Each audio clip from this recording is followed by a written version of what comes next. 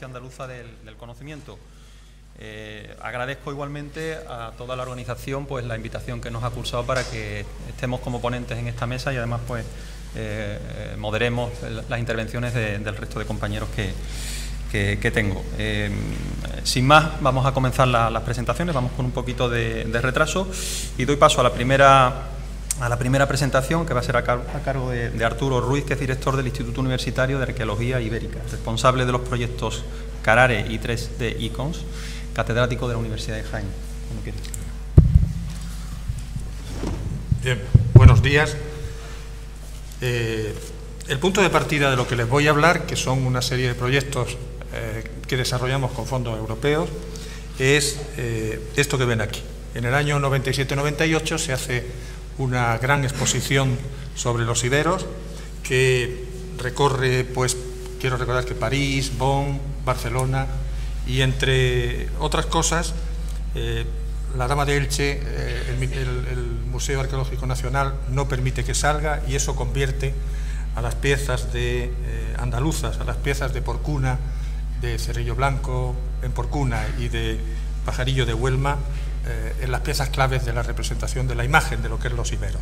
Y son piezas de Jaén. Eso va a motivar que a partir de ese momento se cree todo un movimiento que conlleva desde la actividad de los investigadores, que llevábamos 20 años trabajando en el tema, de hecho el pajarillo lo habíamos excavado nosotros, hasta movimientos ciudadanos como la Asociación Amigos de los Iberos, es decir, toda una serie de elementos o de acciones que se palpan en la calle, que se palpan también en el ámbito científico y que dan lugar, en nuestro caso, porque además había sido una presentación, digamos, en Europa de lo que era la cultura de los riberos, que llevaba desde el siglo XIX sin verse, y desde el punto de nuestro punto de vista, lo que acaba es con la creación del Instituto Universitario de Arqueología Ibérica, es el antiguo Centro Andaluz de Arqueología Ibérica que estaba asociado a la...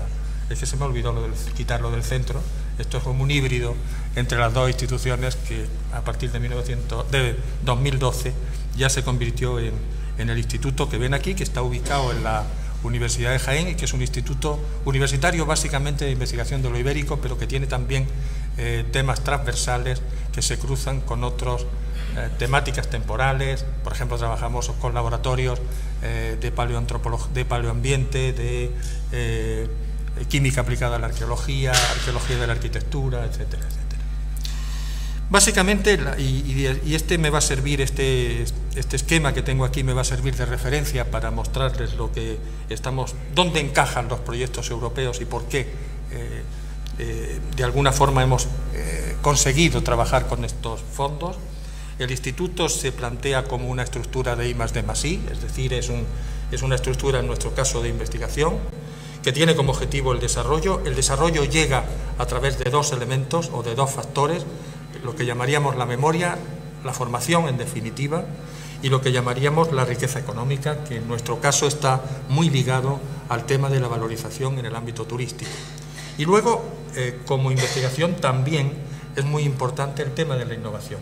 En los últimos tiempos, y ahí es donde encajan los proyectos europeos que les traigo, lo que hemos intentado es que sean los proyectos de la innovación lo que marque de alguna forma la, definición exterior del instituto.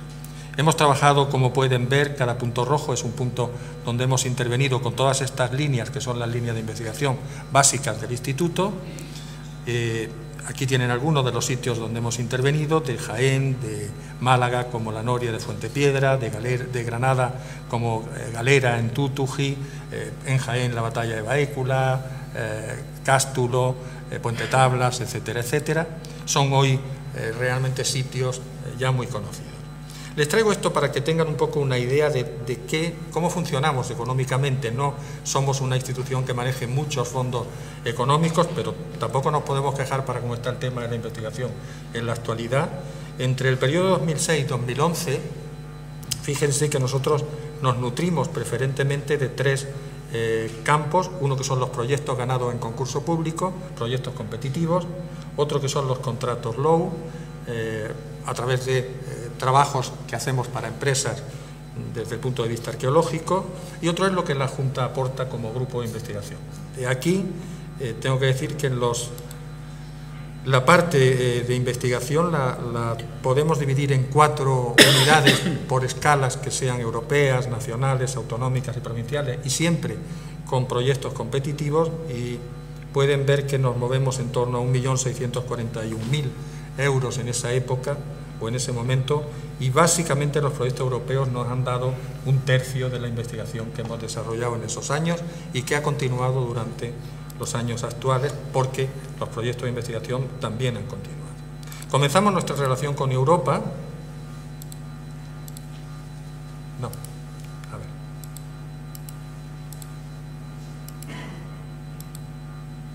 Pues no quiere leerlo. Bueno, pues se lo, se lo digo.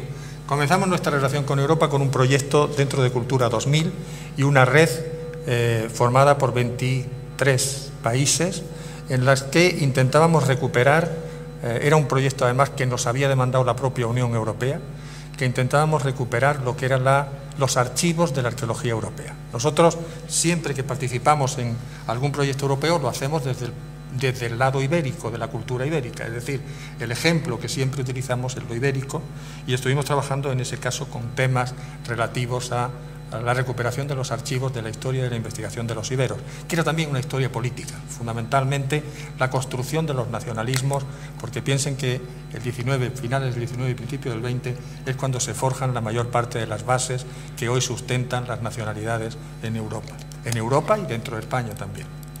Vamos a pasar esto, que espero que no se me repita luego. Bueno, después tuvimos, no salen imágenes, no sé por qué. después, bueno, no pasa nada, yo lo voy contando y ya está. Después tuvimos el proyecto Carare, que es un proyecto que empezó en febrero de 2010 como una red de buenas prácticas y financiada por el programa europeo ICT-PSP. Es un programa periférico, es decir, no es uno de los programas, digamos, cumbres en los que se mueven eh, los proyectos de investigación de la, Unión Europea.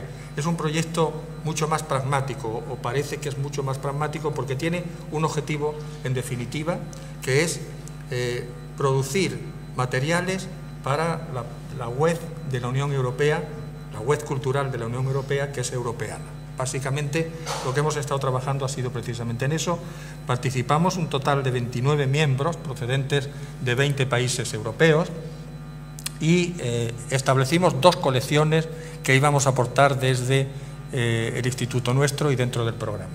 Las dos colecciones, la primera es una colección de imágenes para la enseñanza y difusión de la cultura de los iberos, preferentemente en 2D, en ese momento no teníamos eh, trabajo en 3D que, que aportar, al menos en esa colección, con un número total de unas 1.500 imágenes en 2D, que es lo que se eh, aportó al conjunto total de la eh, colección de imágenes de la enseñanza y difusión.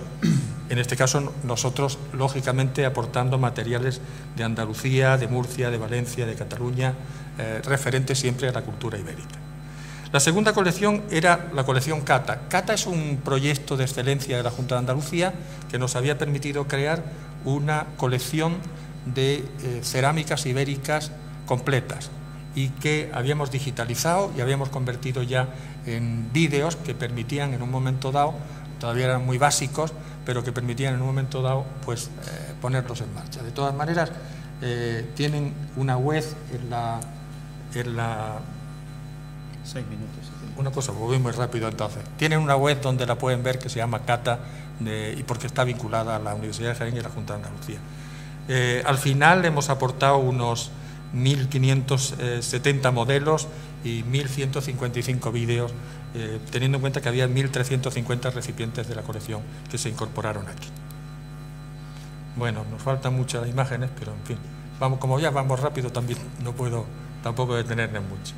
Bueno, 3D Icon cumplió el objetivo que tenía previsto, y al final, eh, perdón, eh, Carari cumplió el objetivo que tenía previsto y presentamos la red en la que trabajamos, la red europea, presentamos un nuevo proyecto que es, eh, se inició en 2012, que ahora terminará, me parece que en marzo de, 2015, y que tiene como objetivo hacer algo que no hizo Carari, que es crear modelos en 3D para Ah, del patrimonio histórico de toda Europa para ponerlos en europeana y que sean de fácil uso por, por parte del de, la gente normal que quiere conocer simplemente los valores de la cultura europea. Son aproximadamente estas las instituciones que estamos trabajando en el tema, con una coordinación desde la Universidad de Nápoles, y nosotros hemos aportado o vamos a aportar unos 500 modelos, todos ellos de la cultura ibérica de las provincias de Jaén, Granada y Córdoba, y Málaga, perdón, estos que ven aquí y que no me voy a entretener. No saben la figura, lo siento. ¿No hay alguna manera de, de ver cómo...? Es que no sale nada.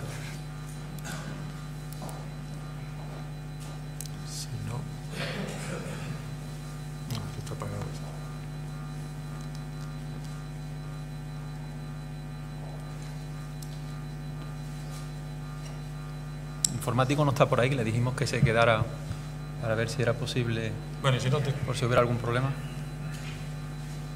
Termino así y ya está. Como vamos a poder ver luego los modelos, eh, por lo menos en PDF, eso les permitirá. Eh, la idea es que aquí lo que les mostraba era cómo estamos trabajando en 3D. Lo primero es la adquisición de, de, referencias. Estamos trabajando con dos sistemas, uno que es la fotogrametría y otro que es el escáner, sobre todo para las para las piezas pequeñas, después se crean los modelos, básicamente, y ya se acaba. Ah, y al mismo tiempo se está creando una información que se suma a, las imágenes dentro de Europeana y que permite que haya toda una serie de, eh, de, que se pueda recoger toda la información sobre el objeto o el lugar que está digitalizado allí. El objetivo nuestro, no lo van a ver, es vincularlo, es decir, no se trata de dos proyectos aislados, lo que queremos es que estos proyectos estén vinculados a, otro proyecto que ya existe dentro del territorio de la provincia de Jaén, que es el viaje al tiempo de los iberos, que es un proyecto que en un momento determinado definimos nosotros y que la Diputación y la Consejería de Turismo están desarrollando. Lo que está permitiéndonos la construcción de, esto, de este sistema de, de modelos de digitalizados es que estamos transfiriendo los, los modelos la al propio campo de trabajo que es eh, la puesta en valor, la valorización de los yacimientos arqueológicos que han sido modelizados. A ver si pudiéramos... es que no salen las imágenes, la, la ha eliminado.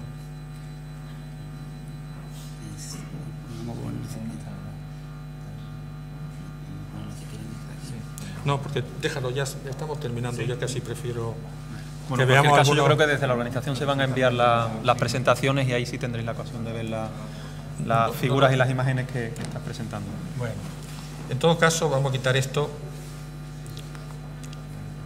el viaje al tiempo de los iberos está prácticamente terminado. Es un plan turístico en el que participa la universidad, que no aporta dinero, como podéis entender, la, la Diputación de Jaén, la Consejería de Cultura y la Consejería de turismo y que en este momento prácticamente a falta de un centro de interpretación, porque va, cada sitio arqueológico va asociado a un centro de interpretación o un museo, va también incluido ahí, como no, el Museo Ibero, que ahora se ha reactivado otra vez en la, en la provincia de Jaén, y la idea es que en un plazo de tiempo que no sea muy largo, de hecho el viaje al tiempo de Ibero está ya prácticamente acabado, se articulen desde la universidad toda la información que estamos obteniendo a través de los modelos de 3D, que se articule también la, eh, la presencia en, los, en la, las valorizaciones de los sitios arqueológicos y de, las, eh, de los centros de interpretación y de los museos y nos permitan generar riqueza, que es al fin y al cabo el objetivo del tema.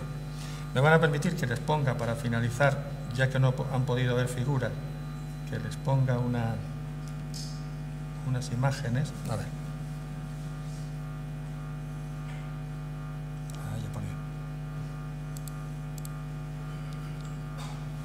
Ejemplo,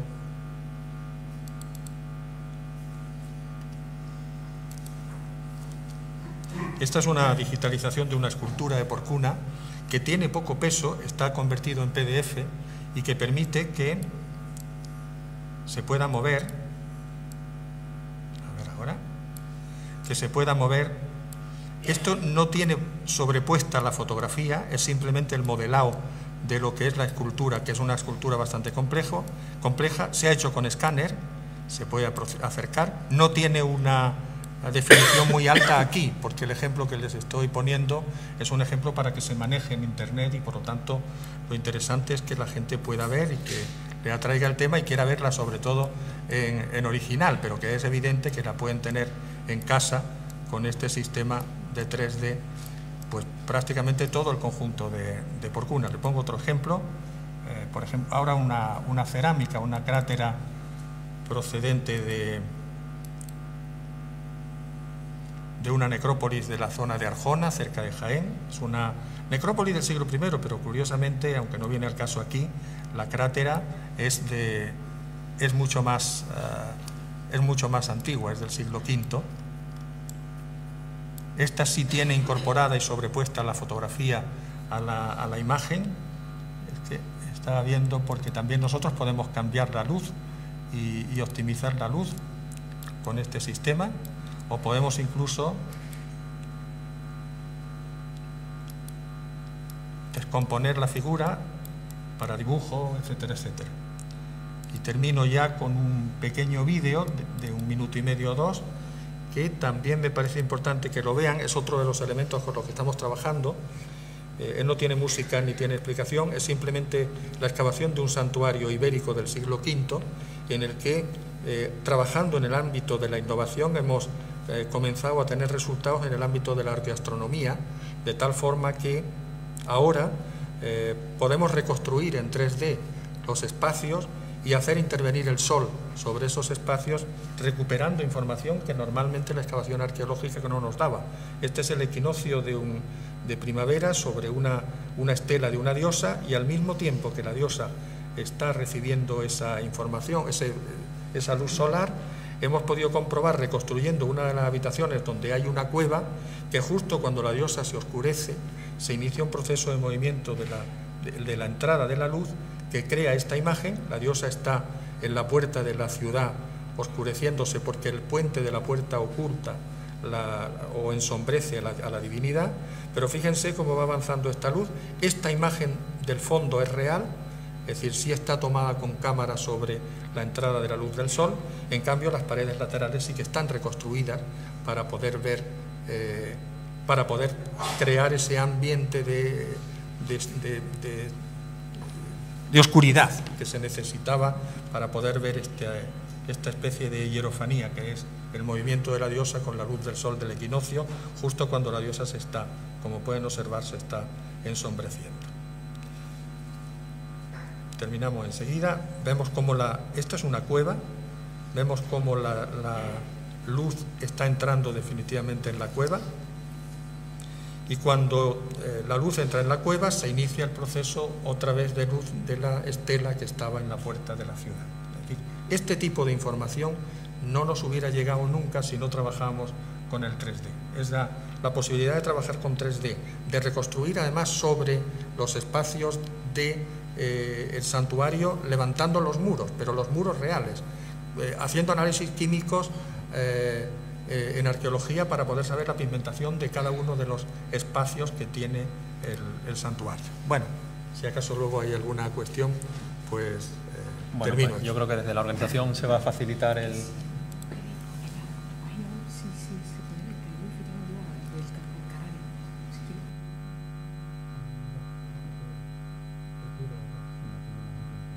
se facilitarán en cualquier caso las presentaciones y, podréis visualizar las imágenes que no, que no hemos podido ver aquí. Bueno, pues la, la siguiente presentación, muchas gracias Arturo.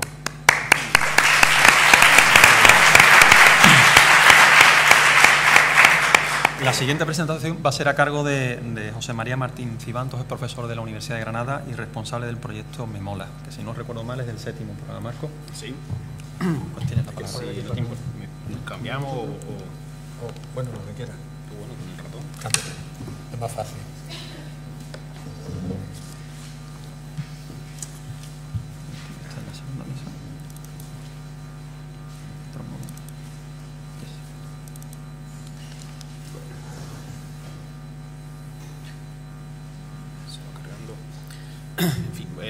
Días, muchas gracias por la, por la invitación a los a los organizadores. Espero que bueno, la exposición de, este caso, de un proyecto europeo que ha comenzado hace relativamente poco, estamos a, punto de cumplir el primer año de, proyecto. eh, sirva para, eh, sobre todo, eh, muestra, un botón de muestra de qué cosas se pueden hacer desde el ámbito de la cultura, ¿no? y sobre todo en este, en este caso desde el ámbito de la cultura que habitualmente, o en muchos casos, queda fuera de nuestra, habitualmente de, nuestra óptica, ¿no? de, qué cosa el, ámbito patrimonial o el ámbito cultural. ¿no? el proyecto, como decían, se llama Memola, y no por casualidad, el acrónimo, el acrónimo de Mediterranean Mountainous Landscapes, eh, y trabajamos, tal y como dice el título, sobre los paisajes de montaña del Mediterráneo. Eh, y como dice el subtítulo, que es la parte que más describe el, proyecto, es una aproximación histórica al patrimonio eh, a partir de los agrosistemas, del estudio de los agrosistemas, es decir, a partir de una parte de la cultura que es fundamental para entender nuestro pasado y para entender nuestra sociedad, es decir, a partir del estudio de la agricultura, a partir del estudio de nuestros paisajes, entendido siempre como eh, paisajes culturales, como fruto de un proceso histórico, de un proceso coevolutivo eh, que permite que, en este caso, nosotros como historiadores, como arqueólogos, pero también desde otros ámbitos de las humanidades, nos podamos aproximar a una parte importante de nuestro territorio y nos podamos aproximar a nuestros paisajes para aportar eh, muchas cosas sobre nuestro pasado, sobre nuestro presente y sobre el futuro de los mismos.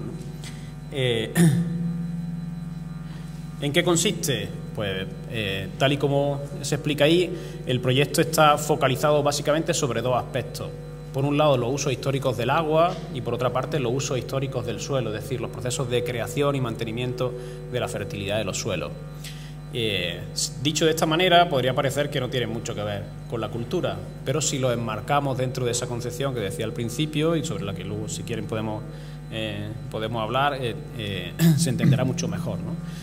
Se trata obviamente de un, proceso, de un proyecto interdisciplinar, multidisciplinar, transdisciplinar y todos los, disciplinar que quieran, en el que eh, no solamente estamos historiadores y arqueólogos, sino que además también hay eh, arquitectos y hay antropólogos, hay eh, hidrólogos, hidrogeólogos, edafólogos, botánicos, agrónomos, que trabajamos sobre estos dos aspectos fundamentalmente a los que me he referido anteriormente. Para hacer eso lo que hicimos fue elegir cuatro zonas de estudio del ámbito mediterráneo, que ahora, eh, que iremos viendo, sobre las que eh, plantear nuestras preguntas y sobre las que plantear toda una serie de paquetes de trabajo que son los que nos permiten desarrollar el proyecto e intentar alcanzar los objetivos que nos propusimos. En el proyecto intervienen 10 socios de 5 países, eh, de los cuales hay una parte que son del ámbito público y una parte sustancial que son del ámbito, del ámbito privado. En ellos están eh, la Universidad de Granada, eh, dentro de la cual estamos no solo historiadores y arqueólogos, sino también antropólogos y arquitectos incluidos dentro. la Universidad de Córdoba, entre las que están ahí agrónomos, hidrólogos y edafólogos.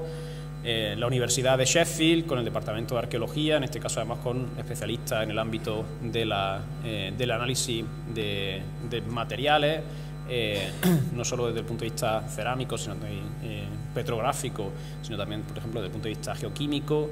Está eh, la Universidad de Padua, con el Departamento de, Arqueología también, en el que también hay especialistas en el ámbito de la edafología, no solo desde el, punto de vista histórico y arqueológico.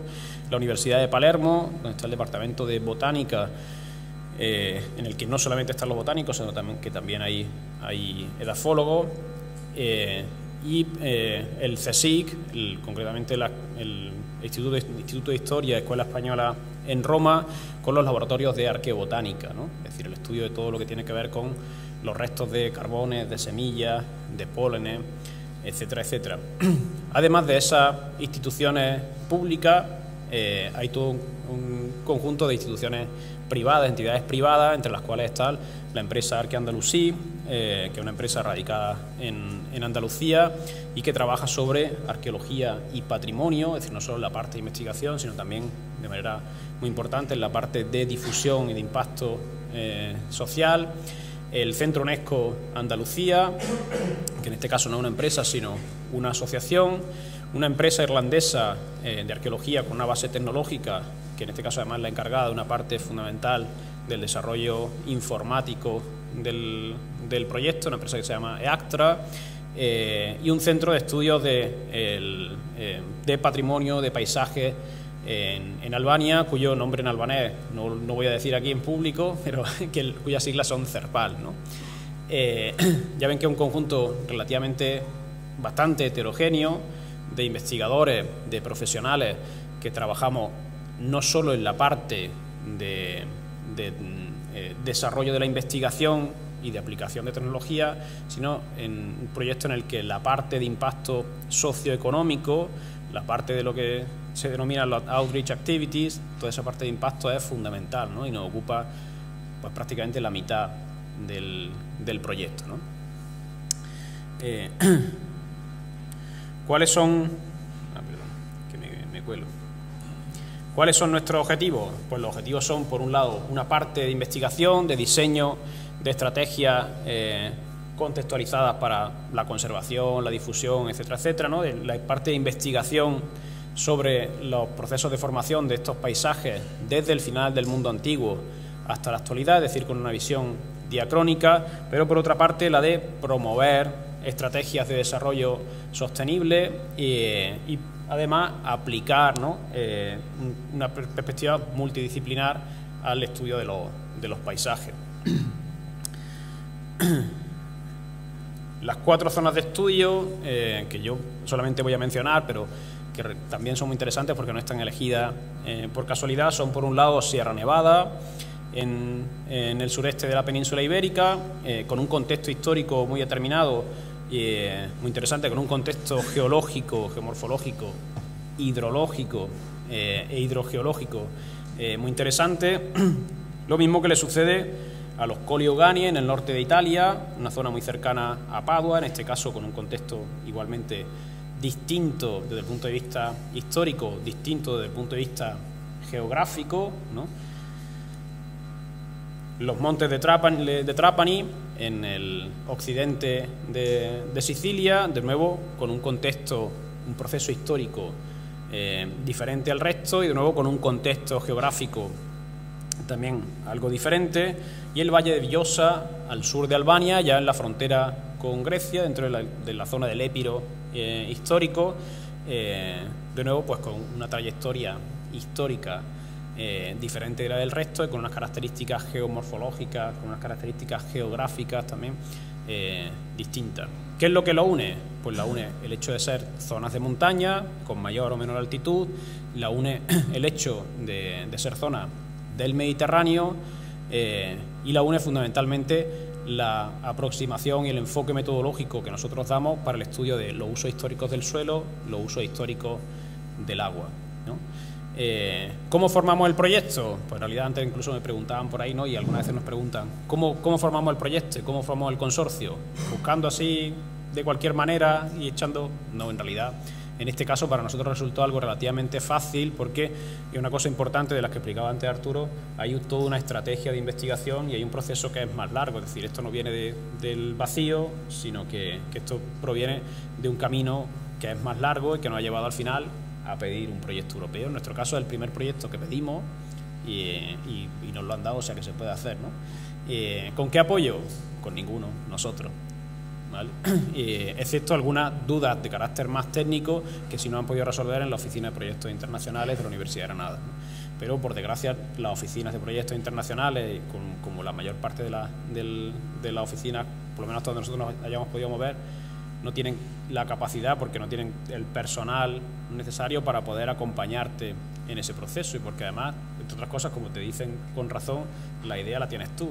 Y quien sabe, conoce mejor la idea, eres tú, ellos no te pueden desarrollar y escribir un proyecto que no, del, que, del que saben poco, porque no es su especialidad. ¿no? Eh, así que lo primero que hay que tener es clara una idea, que si proviene de una estrategia y de una trayectoria, como en el caso, por ejemplo, del Instituto de Arqueología Ibérica, mucho mejor, porque resultará mucho más fácil saber qué es lo que uno quiere y cómo lo quiere hacer.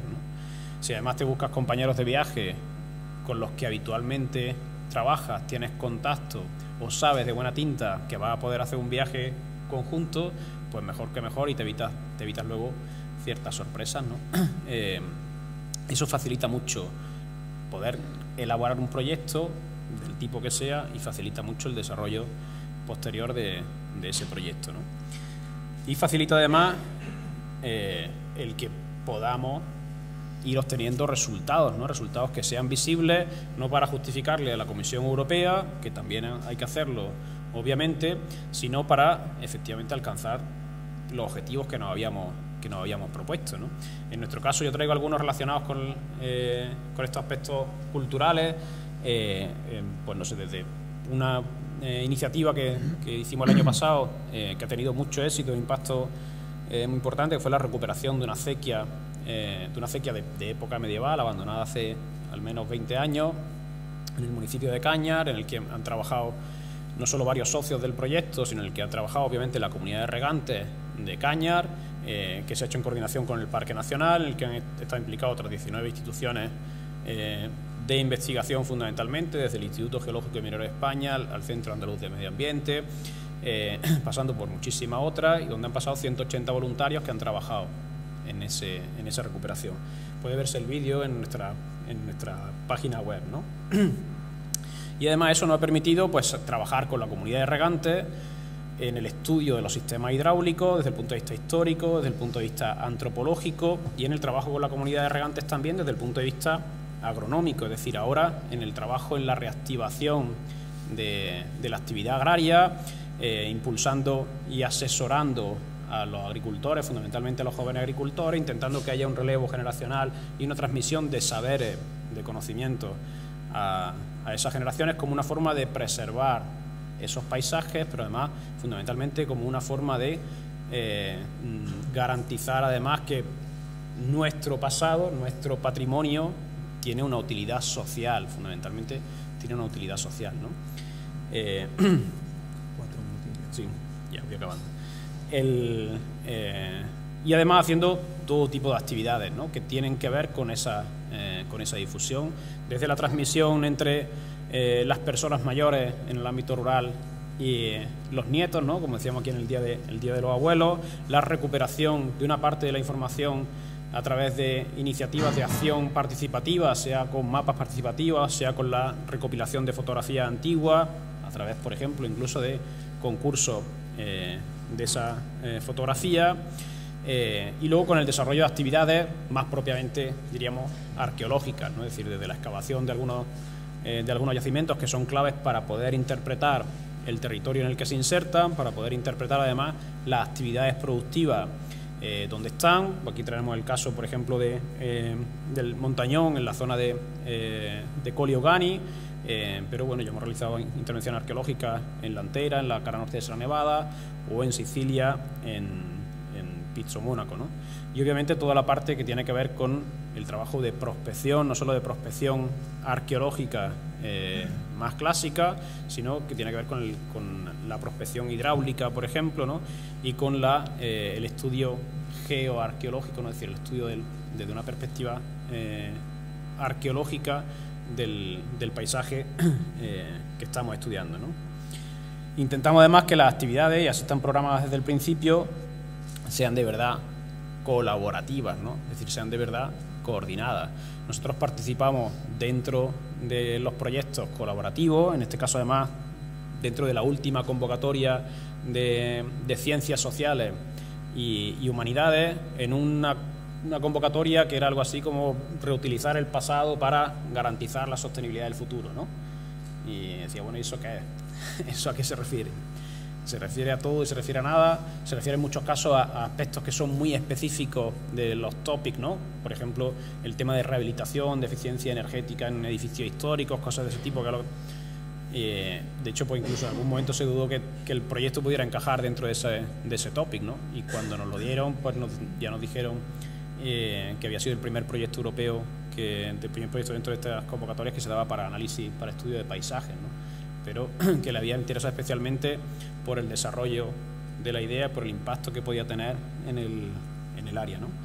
Y desde el principio las actividades se, se, planificaron y se va intentando que así sea eh, sean de verdad colaborativas. ¿no? Aquí tenéis, por ejemplo, unos aspectos de la, de la excavación, última excavación que hemos hecho en Sicilia, eh, o de donde han participado la Universidad de Granada, la empresa Arqueo, Arqueo Andalusí, la Universidad de Sheffield, la Universidad de, de Palermo o una de, de las eh, actividades no de prospección arqueológica, sino en este caso de análisis de paisaje, eh, en el que también entra para donde estaban la Universidad de Sheffield, la Universidad de Córdoba, los agrónomos, los edafólogos, los, hidrólogos, la Universidad de Palermo, los botánicos, intentando hacer un trabajo conjunto de, análisis, en este caso eh, desde una perspectiva realmente interdisciplinar, donde, donde nosotros como arqueólogos planteamos preguntas, y intentamos buscar alguna respuesta en, nuestros colegas, pero en la que obligamos además a que nuestros colegas nos hagan también ciertas preguntas y nos pongan en un aprieto eh, a nosotros. ¿no? Eh, al final, eh, cuando presentamos el proyecto, pues se trataba de que efectivamente una necesidad que nosotros teníamos dentro de nuestra estrategia de investigación pudiera verse plasmada en un proyecto que si triunfaba pues nos daba la posibilidad realmente de desarrollar esa estrategia. No solo desde el punto de vista arqueológico, no solo desde el punto de vista histórico, sino además, y de manera muy especial, en relación a otras disciplinas con las que habitualmente ya trabajábamos y sobre todo en relación con la ciudadanía, es decir, en relación con el impacto social que debía tener nuestra investigación. Muchas gracias. Muchas gracias.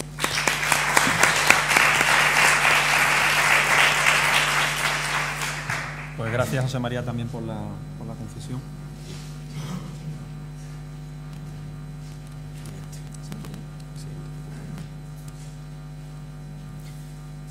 Por ahí hemos dejado algunos folletos por si a alguien le, interesa, ahí también hay la mesa y al principio. Y, y ahí tienen también nuestro, nuestro contacto y pueden seguir también algunas de las actividades del proyecto.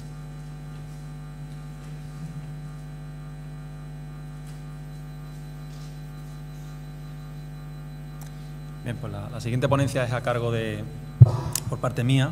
Eh, como os decía, yo soy eh, coordinador del área de programas internacionales de la Agencia Andaluza del Conocimiento y me propusieron desde la, desde la agencia organizadora de este, este evento pues hablar sobre el, Horizonte 2020 y eh, oportunidades que pueden surgir para el, sector de la, industria cultural. Eh, nosotros somos una, agencia pública empresarial que dependemos de la Consejería de Economía, Innovación, Ciencia y Empleo. Eh, entre otros cometidos tenemos la, responsabilidad, que así nos asignan, nos encomiendan, de eh, promocionar, promover, facilitar aquellos que lo, que lo, quieran o lo necesiten el acceso a financiación de este, este tipo punto de vista informativo, formativo, de diseminación, etcétera, etcétera. Organizamos jornadas, seminarios, cursos, asesoramos a aquellos que nos lo, solicitan y además, eh, precisamente en uno de los temas en los que, en los que puede ser de interés para vosotros, en algunos de los temas que pueden ser de interés para vosotros, que luego, luego veremos brevemente, eh, dentro de, uno de los, retos sociales del Horizonte 2020, pues eh, tenemos la presencia del punto nacional de contacto o de uno de los puntos nacionales de contacto que existen eh, para Horizonte 2020 en España. Eh, esto es para el reto social 6, el de sociedades inclusivas, reflexivas, innovadoras. esta persona es Carolina Rodríguez y, va a estar también hoy por aquí, pero al final, pues por motivos de viaje, por ser punto nacional de contacto, tenía una, cita ya previamente agendada y no ha podido estar. El, interés que nosotros tenemos principalmente y yo personalmente en, una jornada de este tipo, es eh, no centrarme expresamente en las oportunidades concretas que pueden surgir para la convocatoria del año que viene, porque entre otros motivos pudiéramos estar llegando tarde, y ahora me entenderéis por lo que os digo todo esto, eh, sino eh, entender, porque, porque creo que la, audiencia en, muchos casos no, conoce suficientemente bien quizás el Horizonte 2020, entender pues cuáles son esa, filosofía, quizás ciertos mecanismos y formas de funcionamiento, de trabajo de, este programa y, cómo, cómo, se articula. Eh, pretendo hacer una descripción más o menos... más o menos somera en estos 15 minutos, 10 minutos ya casi que, que me quedan y en cualquier caso ahí tenéis el correo electrónico mío, eh, la agencia, nosotros estamos en Cartuja y, os podéis poner en contacto con nosotros por correo electrónico o por teléfono. Eh, este programa tiene pues eh, ciertas, ciertas características que os comento a continuación. Es un, es un, instrumento propio de la Comisión Europea que no va articulado ni a través de, comunidades autónomas, ni a través de, ministerios, ni nosotros como Agencia Andaluza del Conocimiento, ni la Junta de Andalucía gestiona dinero que venga de, de este programa, sino como os he dicho, nosotros nos dedicamos a dar información, eh, formación, etcétera, por eh, cómo nos hemos articulado los agentes a nivel, a nivel nacional. Yo os he hablado de, un punto nacional de contacto. Eh, con lo cual nosotros no manejamos dinero, sino que ese dinero viene directamente de la Comisión Europea a los eh, coordinadores de los proyectos, como en este caso aquí tenemos, y él es el coordinador el que lo distribuye entre los socios. Digo esto porque es una pregunta más o menos recurrente entre las personas que no conocen demasiado bien el, programa. Esa es una primera diferencia que puede tener con respecto a otros programas que algunas instituciones o empresas que estáis por aquí presentes podéis haber conocido anteriormente, como los fondos de desarrollo regional.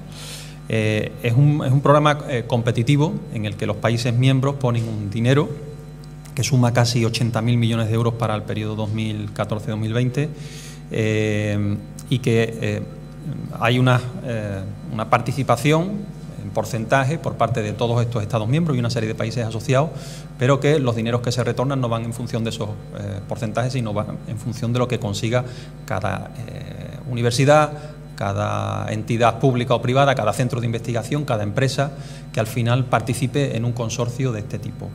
Eh, es decir, no existen asignaciones previas para Estados miembros ni para regiones.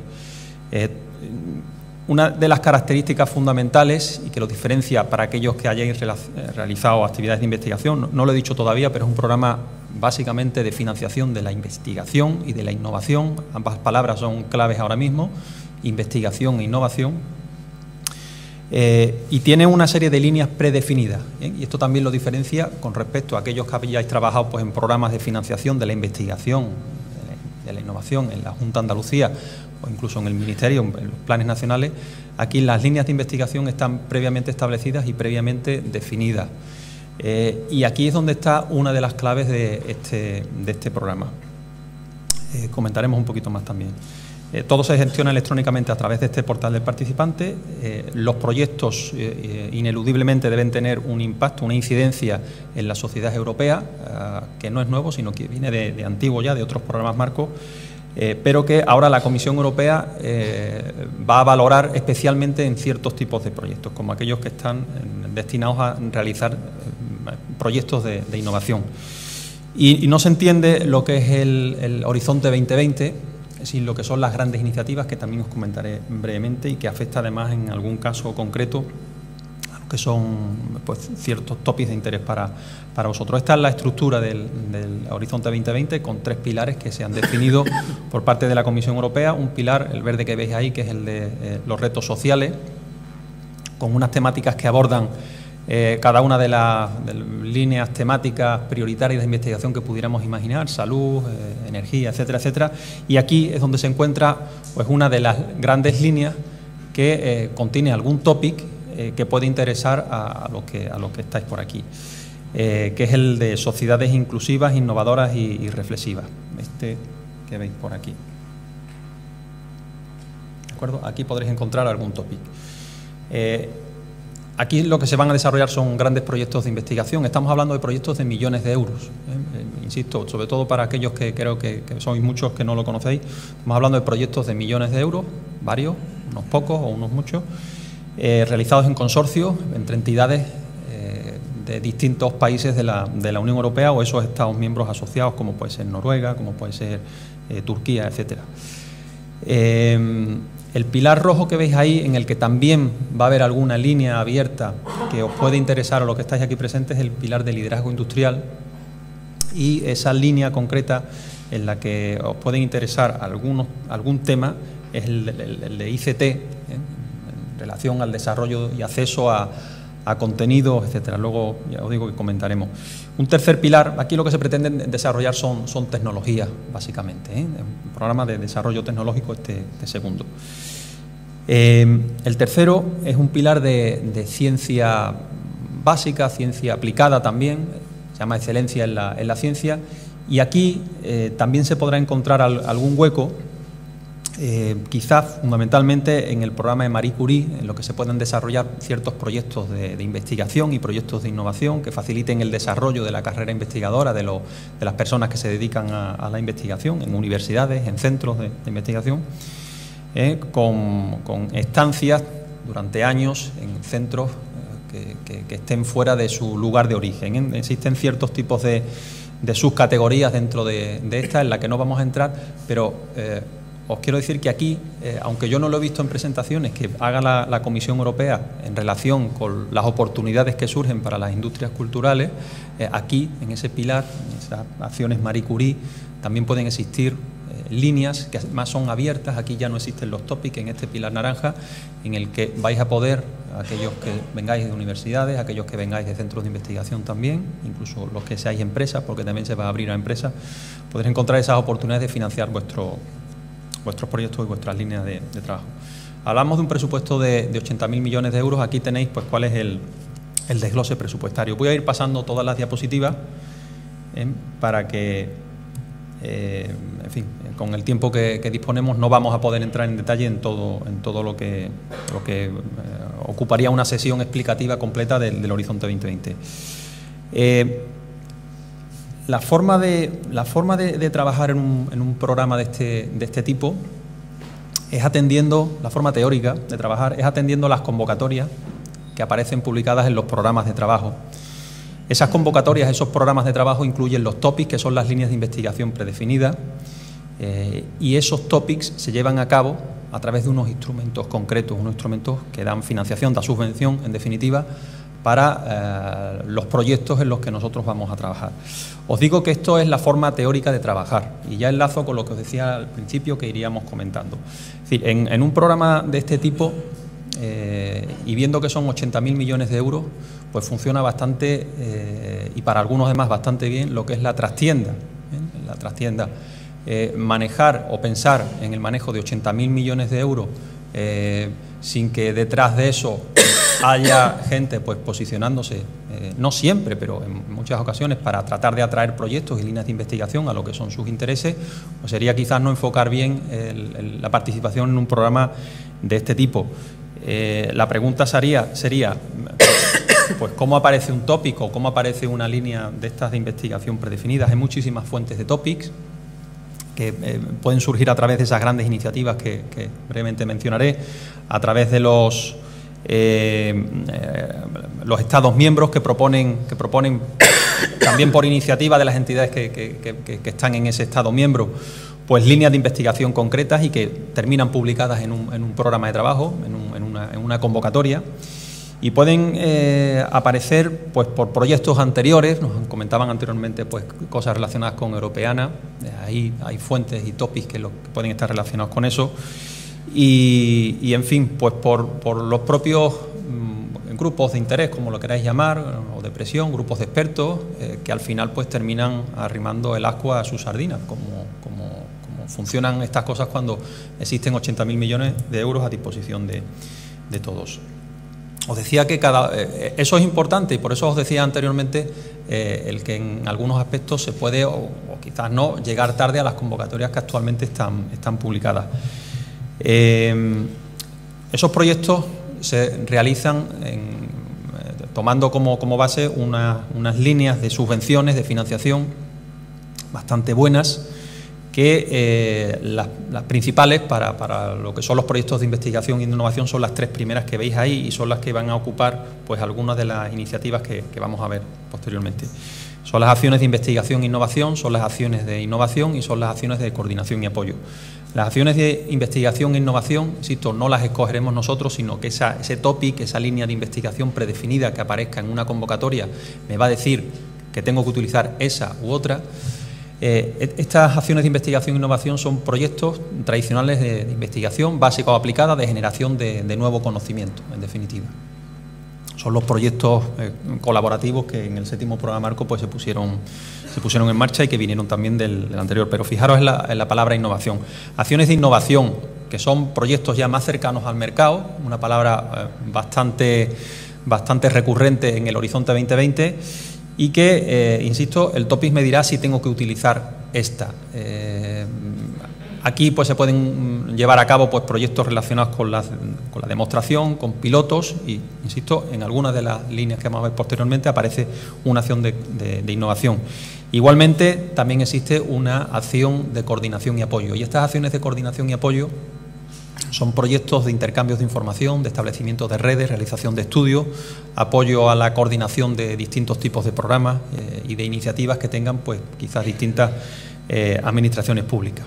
¿Eh? No me paro en, los siguientes, porque en algún tema puntual pudiera ser de interés, pero, pero prácticamente los que interesan desde el punto de vista de, lo que aparece en, los programas de trabajo son los, tres primeros.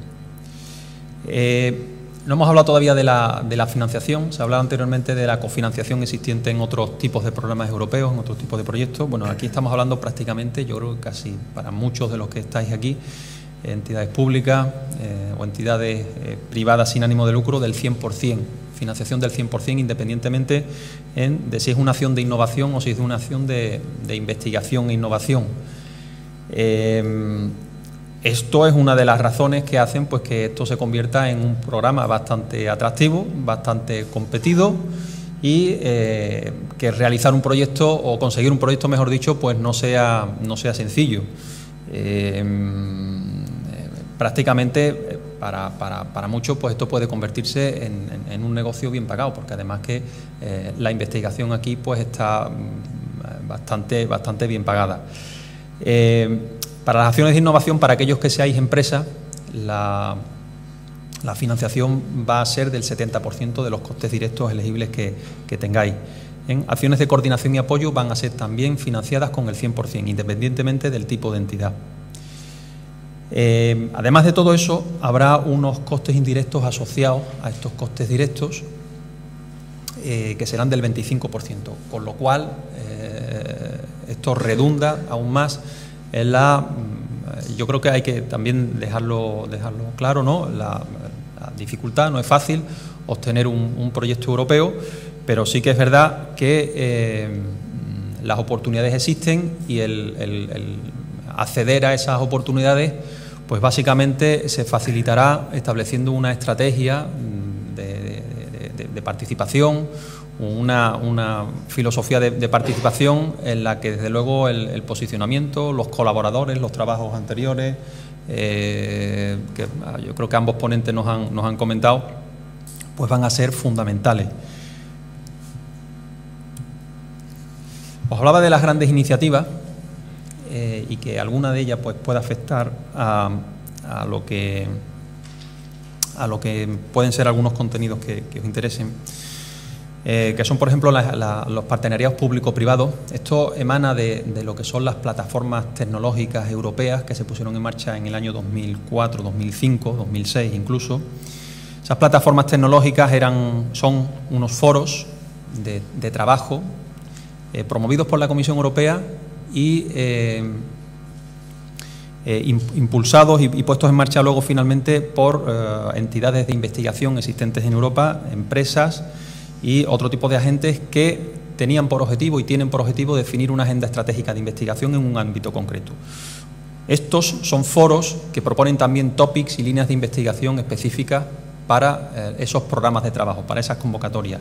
En concreto, podemos identificar uno, ahora posteriormente, y yo creo que ya pasamos a verlo, que es este de aquí, el ICT-19, que aparece en esa convocatoria TIC que hemos comentado anteriormente, que viene eh, propuesto pasándolo rápidamente esto, pues por una plataforma tecnológica que podéis ver ahí su, su, enlace, eh, una plataforma tecnológica eh, eh, europea que está compuesto por empresas, está compuesto por, por entidades públicas, entidades privadas, con o sin ánimo de lucro, grandes o pequeñas, que al final, y sobre todo los que manejan el cotarro en una plataforma de estas, son los que consiguen que un topic de este tipo pues, quede ubicado, quede encajado en, un programa de trabajo de este tipo. No todo funciona así, pero sí que hay en muchas ocasiones que tener en cuenta que esto funciona así, con lo cual si no estás metido en un foro de esto, pues puede ser más o menos fácil o más o menos complicado que te concedan un, proyecto de, este, este tipo. Em, vamos para atrás de nuevo. Eh, hablamos de partenarios públicos-privados que emanan de, esas plataformas tecnológicas. Estos son, en definitiva, pues una serie de, asociaciones eh, entre empresas eh, que, proponen topis concretos, partenariados públicos-públicos. luego una serie de estrategias que son las European Innovation Partnerships que veis aquí, que son, son, una, son en definitiva unas estrategias, yo diría que la palabra políticas, unas estrategias políticas de alto nivel de la Comisión Europea que van a utilizar eh, a distintos instrumentos como pueden ser el Horizonte 2020 o fondos estructurales como vías de financiación para conseguir los objetivos que ahí se, que ahí se proponen ¿eh? en esas iniciativas en esas iniciativas eh, de innovación. Y una serie de, comunidades de innovación también paralelas a todo esto, puestas en marcha por otro organismo diferente, mm, que es el Instituto Europeo de Innovación y Tecnología, que va a financiar pues grandes macroproyectos eh, en, este, en, estos, en estos ámbitos. en el ámbito de las TIC, por ejemplo, hay uno que se está financiando en, estos momentos. Eh, lo que os quiero decir con, todo esto, además de, que el, estar aquí para aquel que le interese, pues puede ser importante o interesante para tratar de, estar metido en estos cotarros donde se manejan ciertos proyectos, es que tengáis en cuenta que eh, todo esto todo esto va en esta en esta dirección, todo esto va en esta dirección. La Comisión Europea quiere externalizar la gestión de los presupuestos, no tiene personal suficiente o no quiere tenerlo para eh, gestionar todo este tipo de programas. Y, en definitiva eh, tener en cuenta que el Horizonte 2020 es un programa de sus subprogramas, un programa de subprogramas compuesto por mm, y gestionado por distintas agencias en algunos casos que, puede ser interesante pues también conocer. Ya os digo, esto daría para hablar sobre y en mucha profundidad sobre cada una de todas estas iniciativas, sobre cada uno de, todos estos bloques, pero en, este tiempo que, vamos teniendo vamos a ir pasando eh, por encima y yo creo que ya estoy bastante fuera. Definitiva, en ICT vais a tener un, un, topic específico que va a cerrar en, abril de, 2000, de 2015 que va a estar compuesto por, por tres, por, tres tipos de acciones que os hablaba anteriormente, pero eso os la comentaba, acciones de innovación, acciones de investigación e innovación y acciones de coordinación y apoyo. Si estáis viendo el dinero destinado a cada una de esas acciones, estamos hablando de millones de euros, ahí van a salir varios proyectos en cada una de ellas, entre 2, 4 millones de euros, por lo cual en la, la última, en la de acción de coordinación y apoyo, seguramente saldrá un proyecto, en las otras pueden salir unos pocos, unos pocos más. El, objetivo de, todo esto y el por qué aparece una, convocatoria, un topic relacionado con las, tecnologías para las industrias creativas, las redes sociales y la integración, la convergencia, es, por, es debido al tema del, consumo de, contenidos de manera ubicua en cualquier momento, desde cualquier dispositivo, eh, de manera que lo que es la generación eh, de, contenidos, el acceso a, los nuevos contenidos, pues necesita el, desarrollo de nuevas tecnologías, la exploración de nuevas, de nuevas ideas, nuevas herramientas que me permitan, pues de alguna manera, acceder a ellas. TOPIS definen exactamente lo que la Comisión Europea pretende alcanzar como objetivo y serán los consorcios los que finalmente pues eh, propongan a la Comisión Europea de manera específica eh, como eh, instrumento para desarrollar sus propias políticas en otros ámbitos diferentes ya a la propia investigación y a la propia, y a la propia innovación. Es decir, entender el instrumento Horizonte 2020 como eh, una herramienta que tiene la Comisión Europea para eh, articular posteriormente políticas concretas que sirvan para los ciudadanos. De ahí esa palabra impacto, de ahí esa palabra incidencia en la sociedad que de manera eh, machacona la Comisión Europea nos traslada en, en todos estos proyectos. Este es un topic y el otro topic, estos dos cierran en, mayo, el 28 de mayo, eh, pues lleva por título Ecosistemas de Innovación de los eh, Bienes Culturales Digitales, que eh, pretende facilitar el acceso a, los bienes culturales existentes, la reutilización de los mismos, los, recursos digitales culturales, tratando de habilitar nuevas vías para el análisis y la comprensión de, la historia pues, cultural, cultural e intelectual de Europa creando pues, nuevas audiencias o nuevas formas de acceso a, los mismos. Insisto, eh, proyectos de varios millones de euros, eh, saldrán por cada uno de estos topics varios, varios proyectos, estamos hablando de, de 2 a 4 millones de euros de financiación Y, yo sin más pues me, pongo a, vuestra disposición, tanto nosotros como el resto de personas de la agencia, para que nos contactéis y, podamos ampliar pues eh, información sobre eh, el Horizonte 2020. Y, yo sin más pues, pues agradezco la, la, atención y, yo creo que finalizamos aquí la... Si hay alguna pregunta, pues los tres personas de esta, de esta mesa estamos a vuestra, a vuestra disposición.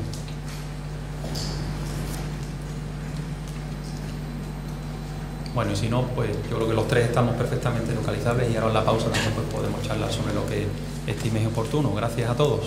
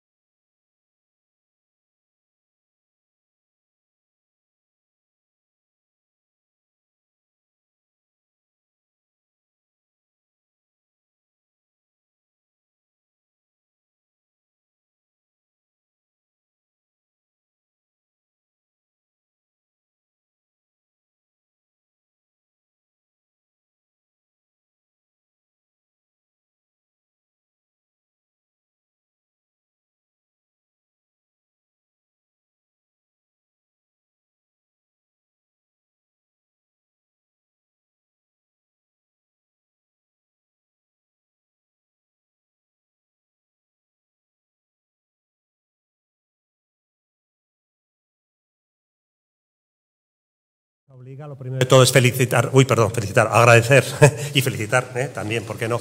A, eh, a las presentaciones eh, previas a la nuestra, esta es la última, tiene siempre esa labor un poco quizá de, escoba y efectivamente agradecer a, bueno, a la consejería y a través, como no puede ser de otra manera, de sus representantes que ya forman parte casi del ámbito familiar más que del profesional, a, Victoria, a Pilar y a todo el equipo que trabaja con ellas. Muy rápido, en mi caso, para no insistir, porque me preguntaban, ahora hay un PowerPoint, digo, pero si ya les he explicado tantas veces en esta misma sala y en otras en esta comunidad autónoma en Andalucía, me da hasta cierto rubor eh, volver a insistir sobre una información que posiblemente ya conozcáis casi de, de memoria. Pero así todo voy a hacer una digamos, una visión, un overview un poco eh, sencillo y simplificado para localizar la mesa y un poco poner negro sobre blanco cuál es nuestro perfil y cuál es un poco el objetivo de, el objetivo de la mesa. Ya sabéis, y si no lo pone aquí en este pequeño visor, soy Augusto Paramio, el coordinador de la oficina del subprograma Cultura. Ya sabéis que también lo he dicho en esta misma sala, que a partir de este nuevo periodo 14-20 la Comisión decide fundir programas por una cuestión de operatividad y de interlocución con los países miembros.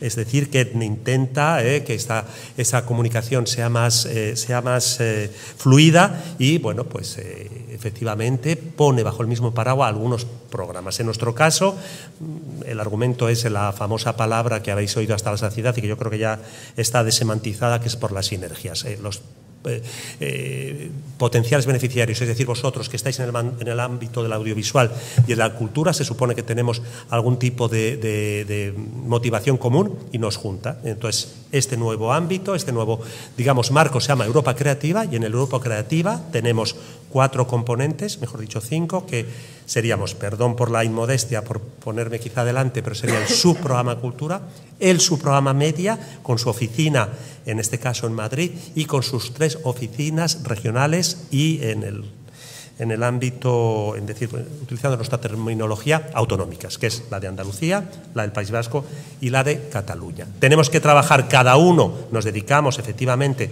a nuestros interlocutores, a nuestros eh, grupos destinatarios, pero sí que nos piden, y es algo que es, bueno, que, es relativamente fácil, por lo que acabo de mencionar, eh, que trabajemos juntos coordinadamente. Y hemos hecho ya muchas cosas, hemos hecho muchas jornadas y hoy es la prueba de ellos. Lógicamente, Victoria en su momento habrá hablado o lo hará o en, el caso de que lo tenga que hacer de su subprograma cultura, eh, su subprograma audiovisual, en mi caso lo que me concierne, por lo que estamos, digamos, eh, pagados, porque estamos cofinanciados también y recibimos un mandato de la comisión es por hablar de su programa eh, cultura. Básicamente sabéis que se encarga de financiar este programa proyectos culturales transnacionales. ¿Eh? Es algo que he dicho en muchas ocasiones con cierta insistencia, pero es bueno que quede claro desde el primer momento. Todos los proyectos tienen que implicar a operadores culturales o agentes culturales de los países participantes en el programa. En este sentido, ningún proyecto que fuera exclusivamente nacional o regional tendría financiación, puesto que la Comisión considera que es, eh, digamos, mm, responsabilidad del Estado miembro. Para todo lo que queráis de información, tenemos una web, tenemos unos, eh, unos, folletos, unos flyers que me imagino que os hayan eh, distribuido, que estén ahí en el, en el hall de la, de la, jornada, pero básicamente cuatro cosas bien claras, más que entrar, insisto, en lo que es el desglose de las acciones, que es una información que está disponible en webs y que si queréis luego eh, podemos entrar en detalles, pero yo creo que este es el momento para dar la palabra a los, a los, a los ponentes, a los panelistas que van a ir a, a continuación, pero básicamente, insisto, el proyecto el, programa va destinado a financiar este tipo de proyectos y este tipo de proyectos tienen que tener los participantes, lógicamente, puesto que hemos dicho que se trata de partenariados y de consorcio, de hecho, por eso hablo en plural, tienen que tener todos personalidad jurídica, tienen que tener poco, la que sea, ¿eh? jurídica, un estatuto legal, poco importa que sea privado, público, asociación, fundación, empresa, sociedad anónima limitada, siempre que estén constituidos como mínimo desde hace dos años y que tengan una vinculación con el ámbito de la cultura mayoritaria. Tenéis que demostrar de alguna manera que vuestra institución está, eh, su actividad fundamental es en el ámbito cultural. Número dos, y esta es la parte quizá más antipática y me imagino que se haya puesto eh, sobre la mesa en, las ponencias anteriores, la mayoría de los programas europeos están atravesados por la consigna de la, co, de la subsidiariedad. Es decir, que la Comisión cofinancia, no financia en algunos casos al 50, en algunos casos al 60 y en otros al 80. Pero tenéis que tener todos, todos, la capacidad de captación de fondos. Este escollo, que efectivamente es el más antipático y el que provoca muchas reticencias, se puede subsanar a través de ciertas eh, estrategias. ¿eh?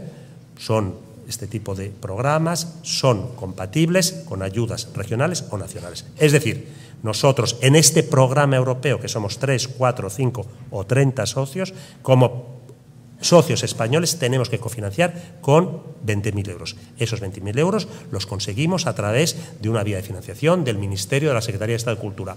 Es posible. De la Junta de Andalucía. Es posible. Siempre que contéis que vuestro timing está bien, bien coordinado, porque cuando se resuelva la ayuda europea tenéis que tener cierta feedback de que vuestra ayuda, sea regional o autonómica o nacional, está en curso. De hecho, si os habéis fijado en el presupuesto, os van a solicitar si esa ayuda está garantizada o no garantizada. Esto es algo nuevo en este periodo.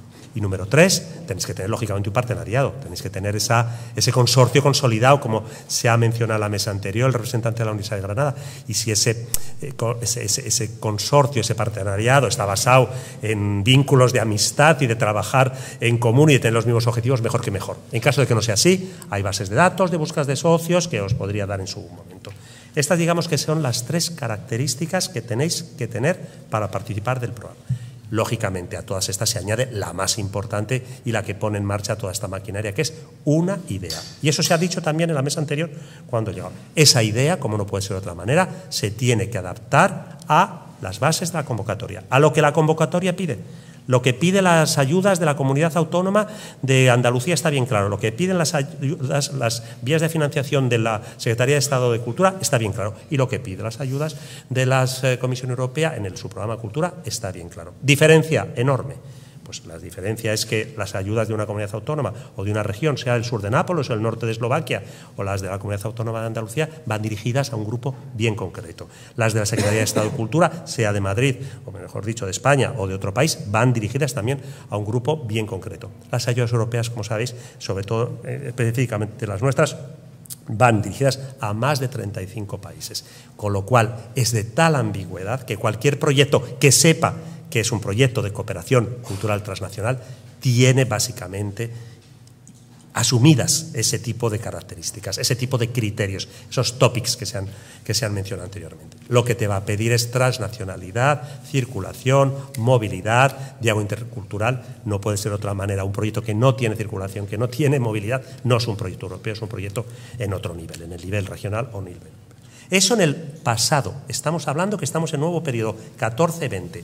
Me interesa mucho, y esto quizás sobre este punto ya es cuando voy a terminar y voy a dar paso a las siguientes intervenciones, me interesa poner de manifiesto que en este nuevo periodo 14-20 los criterios se han transformado. La Comisión, como no puede ser de otra manera, tiene sus tentáculos y tiene sus eh, receptores que captan cuáles, digamos, las pulsaciones del sector cultural.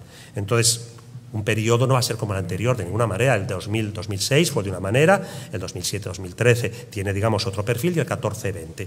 No, se empieza from zero, no se empieza desde cero. ¿eh? El 14-20 se nutre del anterior y si veráis la convocatoria de entretenimiento, vuelve a hablar de circulación, vuelve a hablar de la movilidad, vuelve a hablar del diálogo intercultural, pero añade, añade nuevos criterios que entiendo que ha vehiculado a través de estos sensores, que son los lobbies que están en, sus, eh, en, su ámbito de acción, lo que es el asociacionismo. Entonces, en este nuevo periodo, eh, ya, claro, estamos muy vinculados al tema de la Agenda 2020, no se tiene quizá cierto prejuicio a hablar claramente de los temas económicos. Ahora se sabe claramente que la cultura es una fuente de creación de riqueza y, un motor económico y lo ponen bien claro. Es decir, que esa idea casi un poco decimonónica y casi romántica de la cultura que, que sigue estando y que es legítima y que posiblemente esté en el corazón del programa y además tiene legitimidad para que sea así, a eso le añaden valores, o mejor dicho, valores, criterios que tenéis que tener en cuenta en el caso de que queráis poner en marcha una iniciativa en este nuevo periodo, que son el desarrollo de audiencias. esto lo hablará Tony porque ha estado en ese proceso de selección de proyectos y seguramente esté mucho más puesto que nosotros. Nosotros tenemos un grupo de teatro, tenemos un grupo fidelizado. ¿Cómo llegamos a un grupo que no es el nuestro? Eso les interesa muchísimo. Desarrollo de audiencias. Nuevos modelos de negocio tenemos este mismo grupo de teatro, tiene su taquilla, sus ingresos. ¿Cómo hacemos que ese nuevo modelo se transforme, se modifique en lo que no es el perfil convencional? Les interesa mucho los planes de visibilidad. Nuestro proyecto tiene, eh, digamos, una repercusión en nuestro sector de referencia, pero cómo eh, hace que trascienda esa, digamos, ese perfil y ese grupo, ese target group. Les interesa mucho la sostenibilidad. El periodo de, elegibilidad de mi proyecto acaba el 15 de enero del 2016. ¿Y ya se acabó? ¿Cerramos el kiosco y se terminó? No. Nuestro proyecto establece una estructura, un andamiaje con vocación de perdurabilidad. Hemos montado una, digamos, un, vínculo ¿eh? y que va a seguir perviviendo al margen de que el proyecto haya terminado o haya terminado. Todos estos criterios son extraordinariamente importantes en este nuevo periodo por supuesto, sumados a lo que se acabo de mencionar. Entonces, en este ámbito nos estamos moviendo, ¿de acuerdo? Nosotros somos oficinas, tanto Victoria como nosotros, de información, nos encargamos de la promoción, difusión y asesoría técnica. Es decir, desde los que no saben nada, que espero que no sea el caso, pero si lo es, así es, estamos poniendo esa semillita, hasta los que el día antes, que es deseable y siempre decimos que no lo entreguéis dos minutos antes porque se bloquea el sistema, pero el día antes, insisto que es mejor que sea el día antes del deadline, de la fecha tope de entrega de proyectos, os, en ese proceso van surgiendo un montón de dudas. Contenidos, eh, balanceo de presupuestos, encuentro de, encuentro de, de, burocracia, de papeles, toda esa es nuestra responsabilidad. Por ello estamos cofinanciados por la Comisión Europea. Pero una vez que dais al botón, y el proyecto va a Bruselas donde un comité de expertos lo va a evaluar. Nosotros estamos al margen del proceso de selección. Esto hace que la transparencia sea extrema. Hay tonis, con perdón, por la, quizá por la eh, eh, trivialización de ese papel, que ellos van a evaluar en sus casas, con sus ordenadores, que luego se van a juntar, que van a negociar, pero que la posibilidad de influir sobre ellos es absolutamente absolutamente inexistente, improbable e indeseable, por otra parte, desde el punto de vista ético. Entonces, esa es nuestra función En el caso de que queráis información, todas las coordenadas las tenéis ahí fuera. El, proyecto, el programa tiene un menú, hay proyectos plurianuales, proyectos anuales, proyectos de traducción, proyectos de redes, proyectos de plataformas. Este calendario es fijo hasta el 2020 y esa es la buena nueva que podemos decir. Ahora que nos acercamos a Navidad, portadores de una buena nueva, es que hay financiación hasta el 2020, tal y como está el patio en las ayudas autonómicas y nacionales con los recortes presupuestarios. Aquí hay un presupuesto que está ya aprobado y que se va a mantener hasta este, hasta este 31 de diciembre del 2020 y esa es nuestra, esa es nuestra tarea y para eso nos va. Y lo digo, y con esto ya sí que termino, lo, prometo, lo digo lo de nuestra cofinanciación porque nos aproxima a vosotros.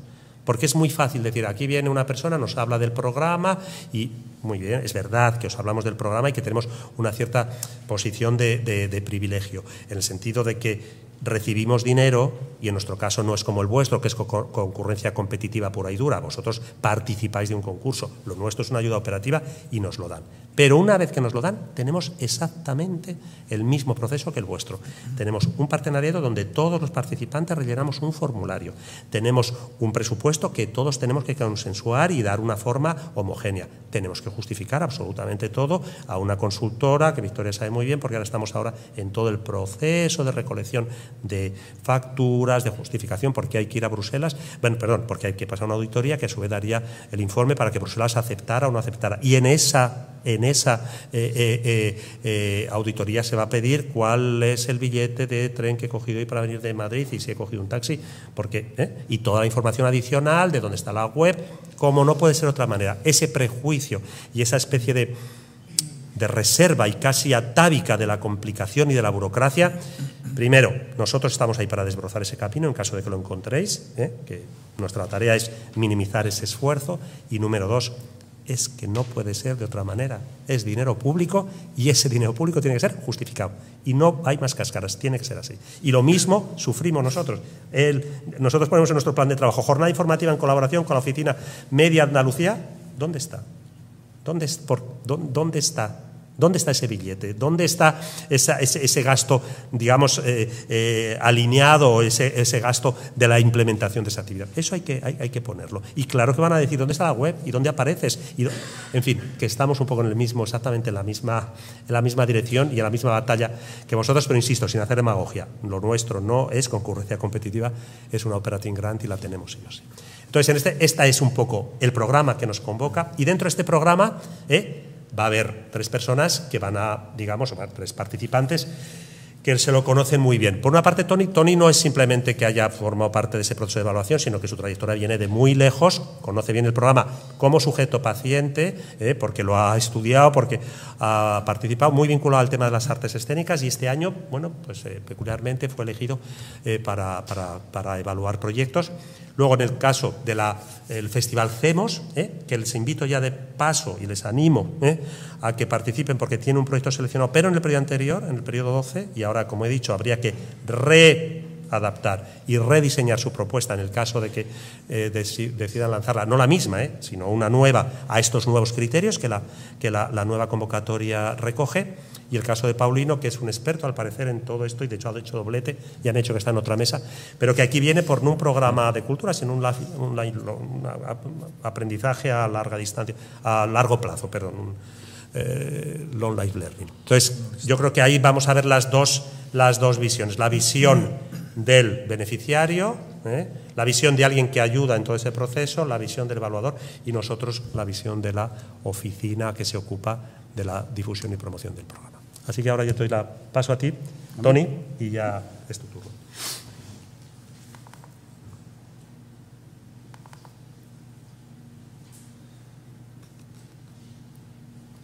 Bueno, buenas, buenos días. Me voy, a, voy, a, levantar porque llevo todo el día aquí sentado. ¿Te has cansado? Ya estoy un poco cansado. Además es que se ve los ojos.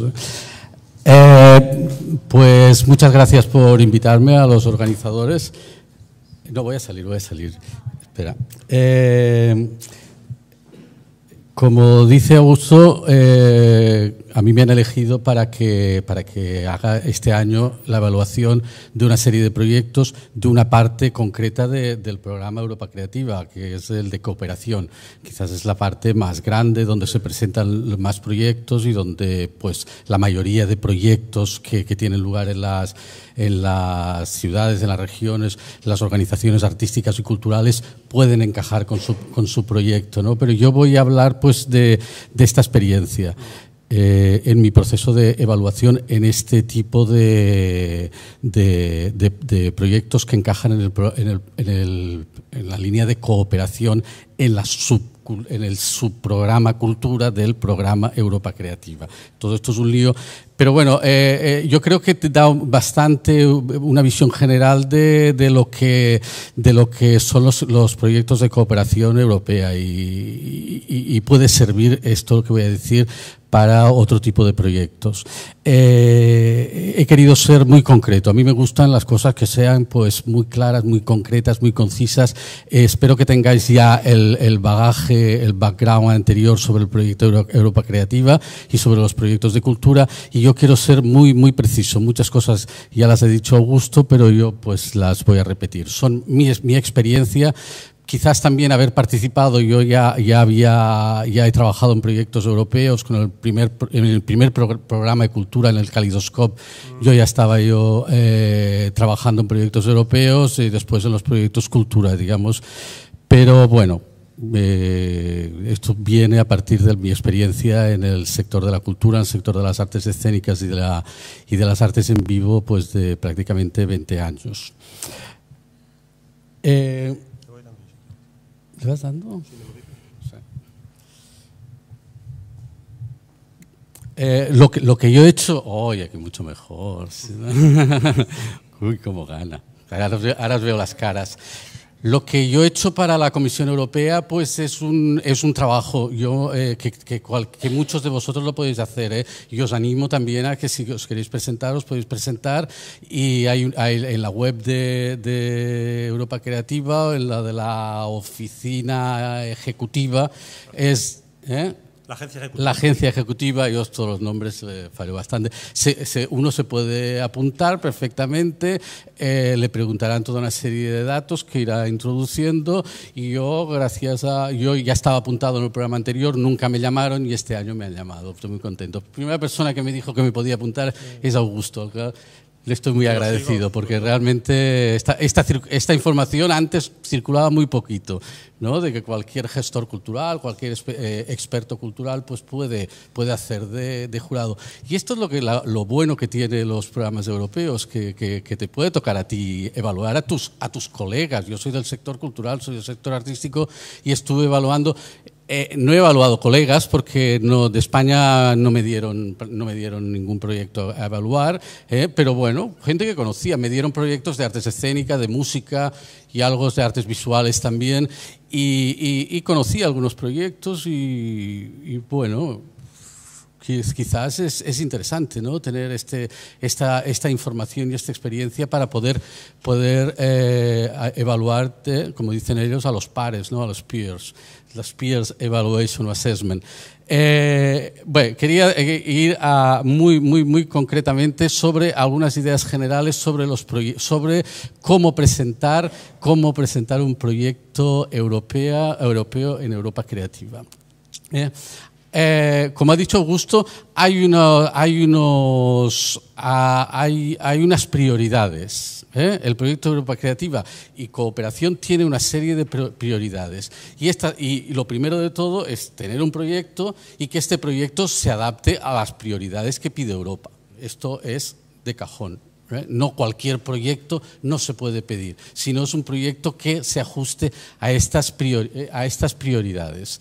Eh, por otro lado, eh, las prioridades, las hay objetivos y prioridades. Tenéis que leer muy bien, muy bien toda la información que se, que se ha publicado sobre este tema. Pero hay dos objetivos eh, que re, reforzar la formación y la capacidad de operar internacionalmente de los operadores culturales. Este es el objetivo número uno. Y el segundo objetivo es la movilidad artística de, obras y de personas en, el ámbito europeo. ¿eh? Dos grandes prioridades, eh, objetivos. Cada uno de estos objetivos tiene sus prioridades, tres por cada uno.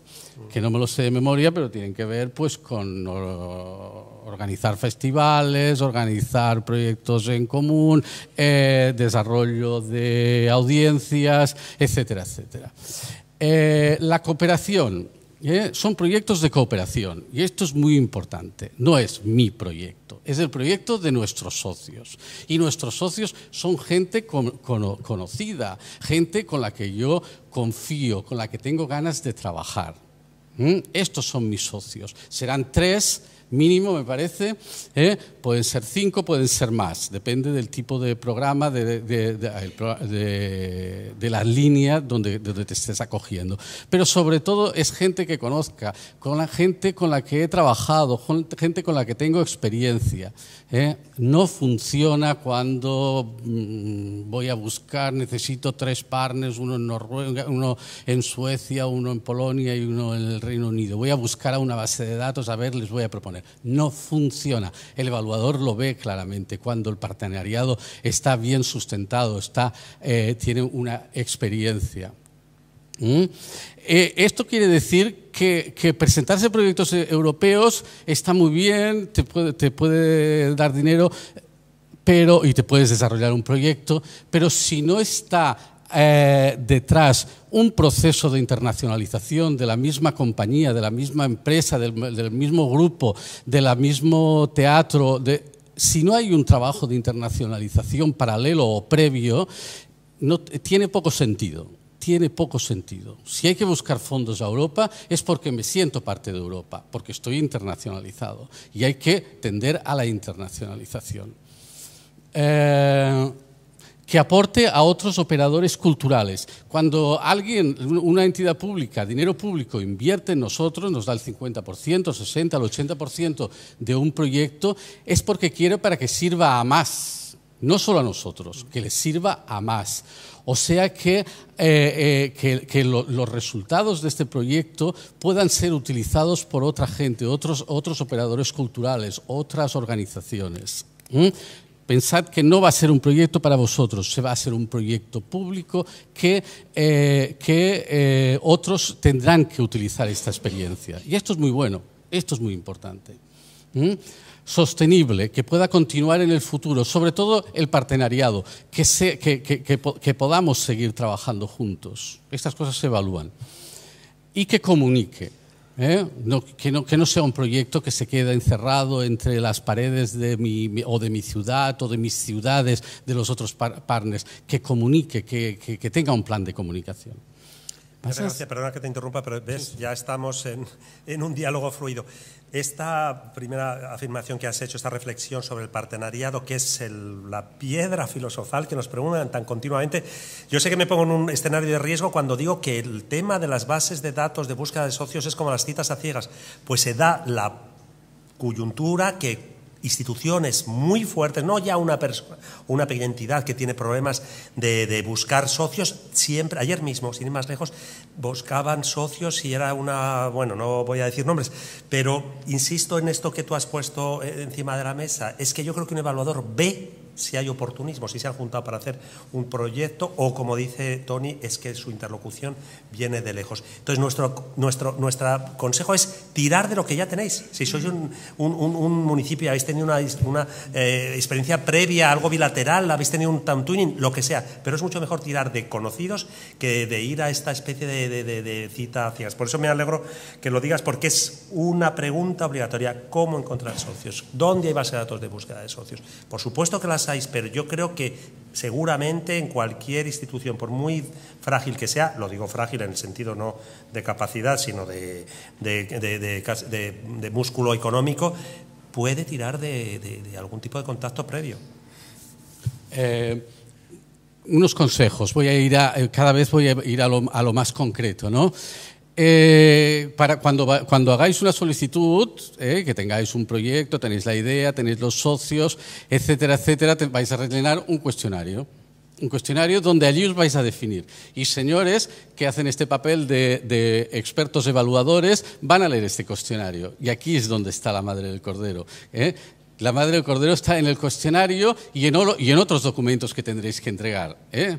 Sobre todo la descripción del proyecto, el project description. Eh, hay que leer las preguntas. Y, no, es de perogrullo, es que, yo, es que yo he leído cuestionarios, he leído preguntas del cuestionario que no contestan, no contestan lo que, lo que se está preguntando. Hay que sujetarse a lo que pide el cuestionario. Casi diría yo más, a partir de la idea, a partir de los partners, a partir del presupuesto, hay que diseñar el proyecto en función del cuestionario. ¿Mm? Pero el cuestionario lo pide todo, o sea que, eh, pero las partes del cuestionario, la estructura del cuestionario, entender las preguntas, qué se está preguntando y por qué.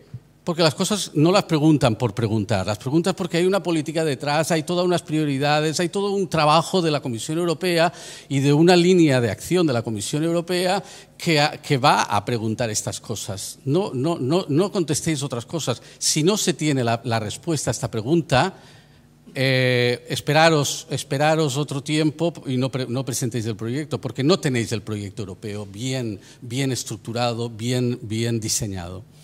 ¿Mm? Contestar siempre a lo que se pregunta, evidentemente.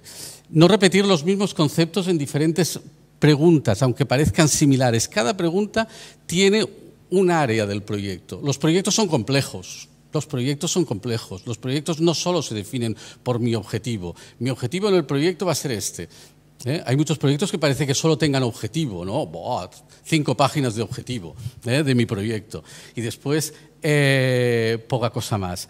No, no, no, no, no. no. Y claro, a la hora de, ir contestando, pues voy repitiendo lo mismo, lo mismo en todas partes, ¿no? Cada, cada respuesta tiene una... Cada, pregunta tiene su respuesta. ¿eh? El completo de cada una de las respuestas es lo que formarían el proyecto, el diseño del proyecto. Eh, añadir descripción del proyecto juntamente al, cuestionario, que lo vais rellenando, eh, podéis entregar un, project description, la descripción del proyecto que tiene que tener, pues no, me parece que está medido como 12 páginas o tal, ¿no? 12 páginas. Aquí es donde tenéis que darlo todo, porque el evaluador se va a leer el, cuestionario sobre todo, pero va a buscar la información que necesita, porque las respuestas al cuestionario son cortas, la va a buscar al Project Description. Si el Project Description no está bien explicado, no son cinco páginas de objetivo y cinco páginas de no sé qué más, sino que está todo, ¿eh? Eh, aquí eh, habréis, ganado bastante. Y utilizad métodos gráficos. Utilizad métodos gráficos, que es la manera más sencilla de sintetizar, de sintetizar lo que se quiere decir y que el, evaluador lo ve y rápidamente se hace una idea de qué va el proyecto. Cuesta a veces hacerse una idea de qué va el proyecto. Eh, y escribir en correcto inglés, evidentemente, hay que escribirlo bien. Bien, pues hay cosas que no se entienden. Y, hombre, estás leyendo y no entiendes, pues lo, lo, pasas. ¿eh? Eh, eh, el, cuestionario tiene cuatro, se evalúan cuatro áreas en un proyecto de Europa Creativa. Son la relevancia, las acciones, o las actividades, perdón, la comunicación y la eh, comunicación, calidad del partenariado y comunicación. Vale, gracias. Vuelvo a la primera. ¿Eh? Cada una de estas, de estas partes tienen puntos, eh, se evalúan hasta 100 puntos. La primera, la relevancia tiene 35 puntos, la segunda tiene 25, la tercera tiene 20 y la cuarta tiene 20. Me parece que esto sumaría, eh, sumaría 100. evidentemente, para conseguirlo hay que conseguir el, el, sobresaliente en cada una de estas partes, y así se llama, el very good. El very good son los el, tope, el que, el, que el, evaluador, el evaluador dice que no hay nada negativo. Pero en el momento que pones algo negativo en tu evaluación, del very good pasa al good. Y cuando pasas al good ya no obtienes el, ya no obtienes el proyecto. ¿eh? Y esto es una lástima. Tienes que ser, que ser, todos muy buenos. O sea, que hay que contestar todos los, los, campos y hay que contestarlos correctamente y coherentemente. Los campos son estos. ¿eh? Objetivo del proyecto, y eh, se ajusta a los objetivos del programa y a sus prioridades. Si el proyecto se ajusta a los objetivos del programa y sus, y sus prioridades. Otra cosa muy importante. Ah, antes te hacen señalar tu proyecto, qué objetivos y prioridades del programa, a qué objetivos y prioridades del programa va dirigido. Y te pones seis casillas, o sea que hay seis prioridades. Dos objetivos, cada uno tiene tres. Lo, que hace la mayoría de gente es marcarlas todas, menos una que tiene que ver con literatura, que si no, es un, eh, si no es un proyecto de literatura, pero las marcan todas, porque, hombre, Claro, el mío tiene que ver con desarrollo de audiencias, pues claro, pero, pero en realidad es un proyecto de investigación y va dirigido pero a, una, a una audiencia muy pequeña, que son los investigadores, pero no deja de ser audiencia. ostras, eh, mi proyecto es, de, es un festival, pero bueno, como haremos un tallercillo, un tallercillo, lo podremos también que es de reforzamiento de las capacidades de, los, de, de, las, de las capacidades de gestión y tal, tal, tal. Mi proyecto me comprado un ordenador nuevo y que voy a ejecutar y, lo vamos a poner en red. Y entonces, claro, también eh, será un proyecto que tiene que ver con el desarrollo de nuevos modelos de empresa, que también es una de las prioridades. Y dices, ostras, eh, no, no, solo hay que poner la, prioridad la prioridad. Y esto hay discusión, hay gente que dice que no, que hay que ponerlas todas. Yo, eh, en mi opinión, solo hay que poner el la prioridad que encaja realmente con nuestro proyecto. Poner una o poner dos. Si las ponéis todas, las tendréis que justificar todas. Y si las justificáis todas, tienen que ser todas outstanding, tienen que ser todas fantásticas. Y todas fantásticas no lo serán. O sea, que si ponéis una, solo tenéis que justificar una. Y que es la que realmente es importante llaman a eso el síndrome, desde Bruselas dicen que, algunos operadores tienen el síndrome del cliqueo, que cliquean todo, todo y que luego efectivamente eh, se encuentran en esa situación de que tienen que justificar y aquello se cae por su propio peso. O sea que efectivamente. Claro, es chulo que, es chulo que un proyecto vaya al desarrollo de la audiencia. Pero si no va de, si no es su objetivo fundamental el desarrollo de audiencias, no lo pongas. Todo, todo desarrollo de audiencias y tal. Pero no, no, no, no. ¿Mm? Eh, listado de actividades. ¿eh? También te, te, pedir.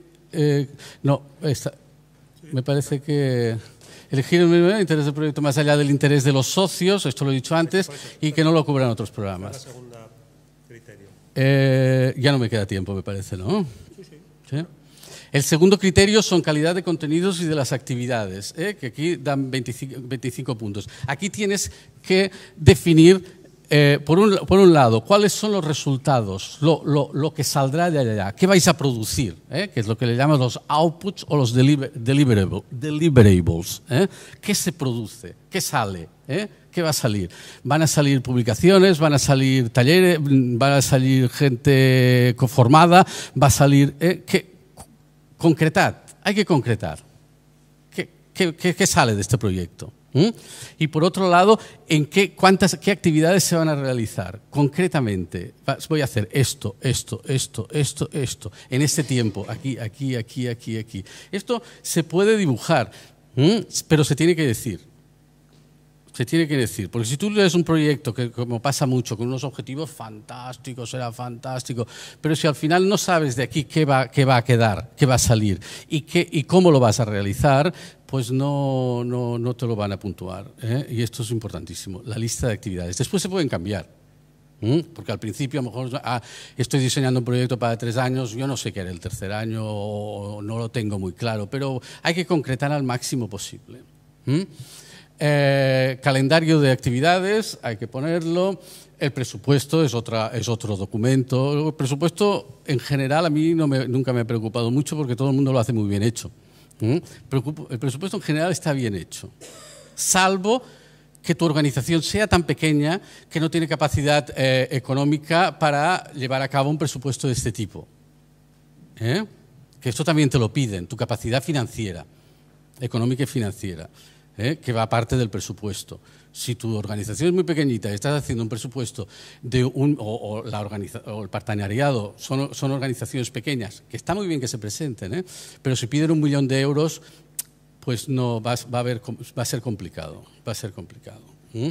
Eh, plan de evaluación de resultados, como cualquier proyecto y cualquier gestor cultural sabe, los resultados hay que evaluarlos. Y esto tiene que estar en un plan. ¿Eh? Esto no estamos acostumbrados en España, se evalúa poco los proyectos culturales, pero en Europa es fundamental. Y el plan tiene que estar detallado cómo voy a realizar la, evaluación del proyecto. Si es un y, y no solo al final, sino año por año. Eh, estrategia de desarrollo de público es otro, apartado que, que, te lo pide. ¿eh?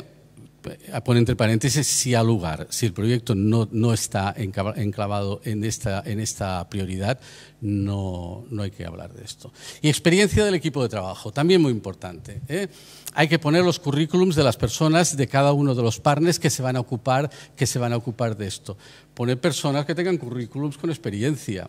¿Eh? Gente, si, el currículum no tiene experiencia, o ponéis artistas, que está muy bien, que los artistas son en realidad son los que van a hacer el contenido, van a llevar a cabo el contenido del proyecto, pero la gestión en general no. Si ponéis un currículum artístico, actuado en la orquesta tal, en la orquesta cual, tal, tal, pero te están pidiendo para la gestión del proyecto, entonces eh, no servirá mucho, aunque este artista sea fantástico, ¿no?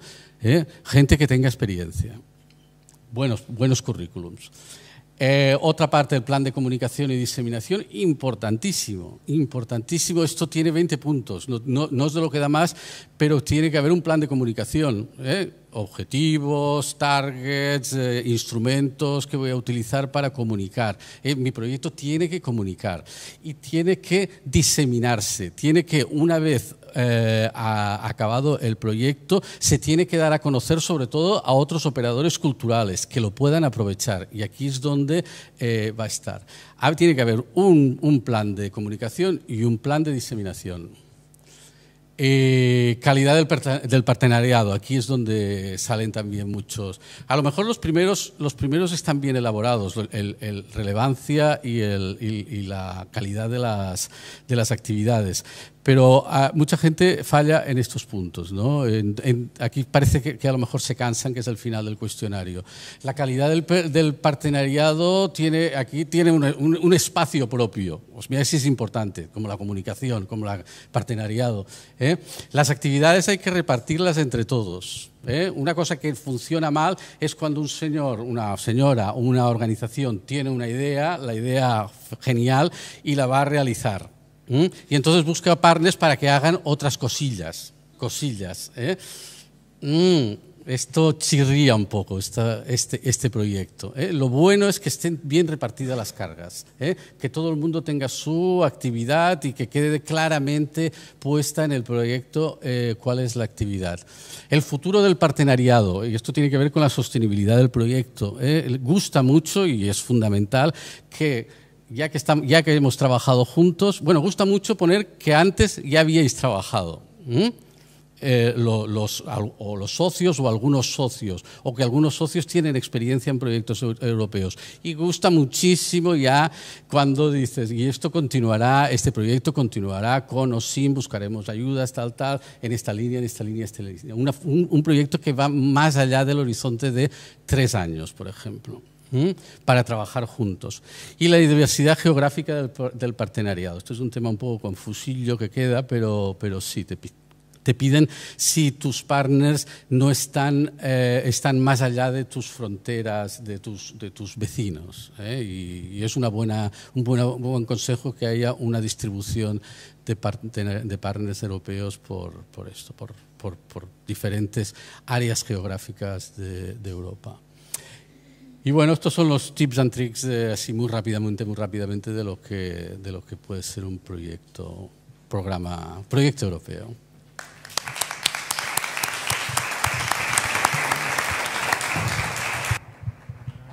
Bueno, rescatar, perdón un momentito, de lo que ha dicho hay cosas que son realmente, bueno, todo es importante, pero es verdad que hay vicios que están inherentes un poco la puesta en marcha de, una, de una iniciativa. El tema de los socios, que es fundamental, ya ha quedado claro que si hay una relación previa es mejor que mejor. Y luego otra pregunta que es insistente, si pongo un socio de Montenegro, digo Montenegro voluntariamente, pues es un país participante, no solo son los 28, sino son también países que han firmado acuerdos con la Comisión, por lo cual sus operadores culturales son tan legítimos como si son alemanes o italianos. Bueno, pues pongo un socio de Montenegro o pongo un socio de Albania, que también es país participante, depende, no, de, no es cuestión de buscar ningún exotismo, depende de la del papel que cada socio haga en esa especie de patchwork que es realmente un, partenariado. Se les elige no por oportunismo, sino por oportunidad. ¿Por qué hay el italiano? ¿Por qué hay el albanés? Porque es el mejor en hacer el plan de medios. ¿Por qué es el portugués? Porque es el mejor en organizar workshops. pero esa es la razón que motiva a que tú montes esa, ese consorcio. No es por una cuestión exótica de que vamos a hacer italianos con albaneses. No, tenéis que buscar que cada uno ponga en ese partenariado a través de su expertise o de su know-how por qué forma parte y, qué es su valor, ellos te lo van a preguntar en el formulario, ¿qué papel va a hacer el partner, este socio, en el proyecto? Y cada uno tenéis que desglosar con el objetivo de que la visión global sea una visión compacta y bien empastada, pero no atender a términos de exotismo, de pongo un montenegrino, pues si no tenéis, digamos, una, razón que lo legitime no tiene mayor relevancia. Bueno, entonces, a continuación, eh, como he mencionado al principio, eh, eh, vamos a la presentación del Festival CEMOS, que insisto, su experiencia con proyectos europeos, yo creía que era mayor, me ha dicho ahora Felipe que han participado en algún programa de educación, algún Erasmus o que están en ello, pero que su grueso lo han hecho con este programa, con este festival, en el periodo anterior, y le dejo lanzada ese, ese guante para que en la próxima, número uno, sean ellos los socios, eh, sean los líderes, perdón, porque en este caso son socios, y segundo, incorporen todos estos nuevos criterios del nuevo periodo para, bueno, pues para presentar un, proyecto. ¿Coges el... ¿Te quieres por aquí?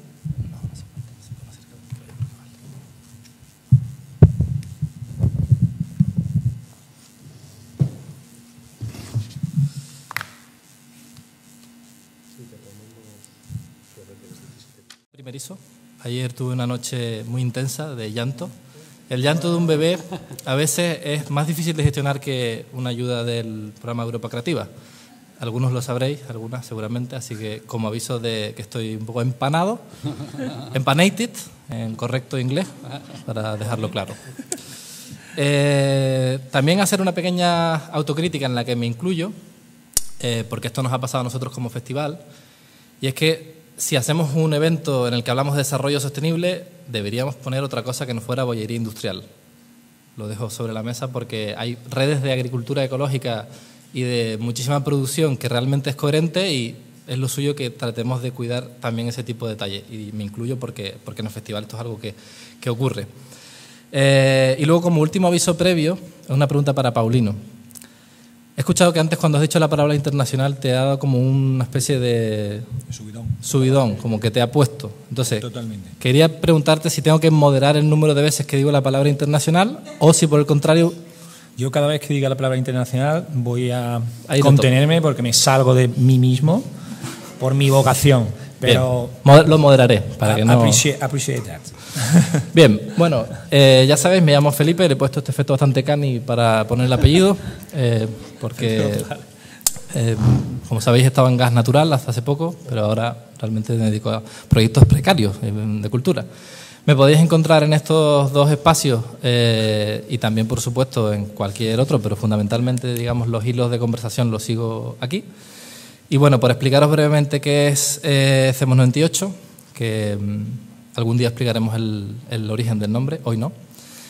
Eh, CEMOS 98 es una iniciativa que tiene que ver con, estos cuatro conceptos, con cultura libre, eh, con innovación social, con narrativas audiovisuales y con, y con educación mediática. Somos una iniciativa privada, eh, una cooperativa, pero también una asociación cultural eh, con vocación de servicio público. Y siempre, digamos, puntualizo esto porque, porque yo creo que hay muchas iniciativas del sector creativo-cultural que se encuentran en esta misma posición, de tener un cierto compromiso con cómo debe ser la sociedad eh, y desde el sector privado ejercer esta labor de servicio público con toda la humildad y con, y con toda la, transparencia.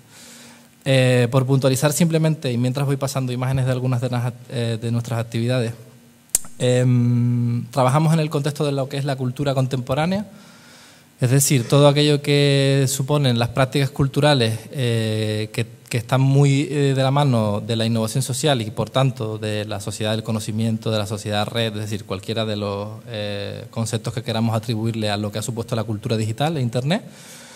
Eh, estamos enmarcados, obviamente, dentro de lo que se conoce como la economía social. Eh, estamos muy interesados en la experimentación en contenidos y en formatos. Es una cosa muy importante. Y tenemos un marcado compromiso político eh, mm, al trabajar, digamos, desde la cultura, no como entretenimiento, sino como un elemento de transformación social. dicho esto, em, como todas eh, las pequeñas iniciativas en los últimos años, y estoy seguro de que aquí hay muchas personas que lo han eh, sufrido, desde hace unos seis años venimos sufriendo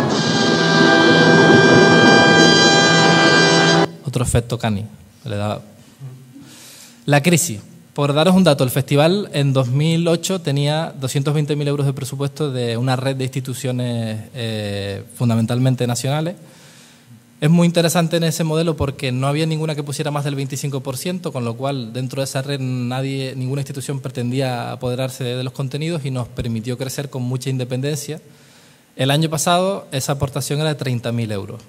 Es decir, estamos hablando de una detracción brutal, algo que no resulta ajeno, seguro, a ninguno de los que estáis aquí, y cada vez es más complicado y a pesar de que es cierto que, y como se suele decir en el mundo del eh, marketing, la crisis es una oportunidad, pero también es verdad que mm, comporta muchísimos problemas seguir sobreviviendo como proyecto cultural pequeño a día de hoy. Y, esto es algo que tiene muchísimo que ver con, el objeto en sí que tenemos hoy para hablar, que es posibilidades de financiación o supervivencia. Dentro de esa creatividad siempre me gusta enseñar el modelo de negocio de, un viejo amigo, de Mamadou, que, repara ordenadores por telepatía por 100 euros.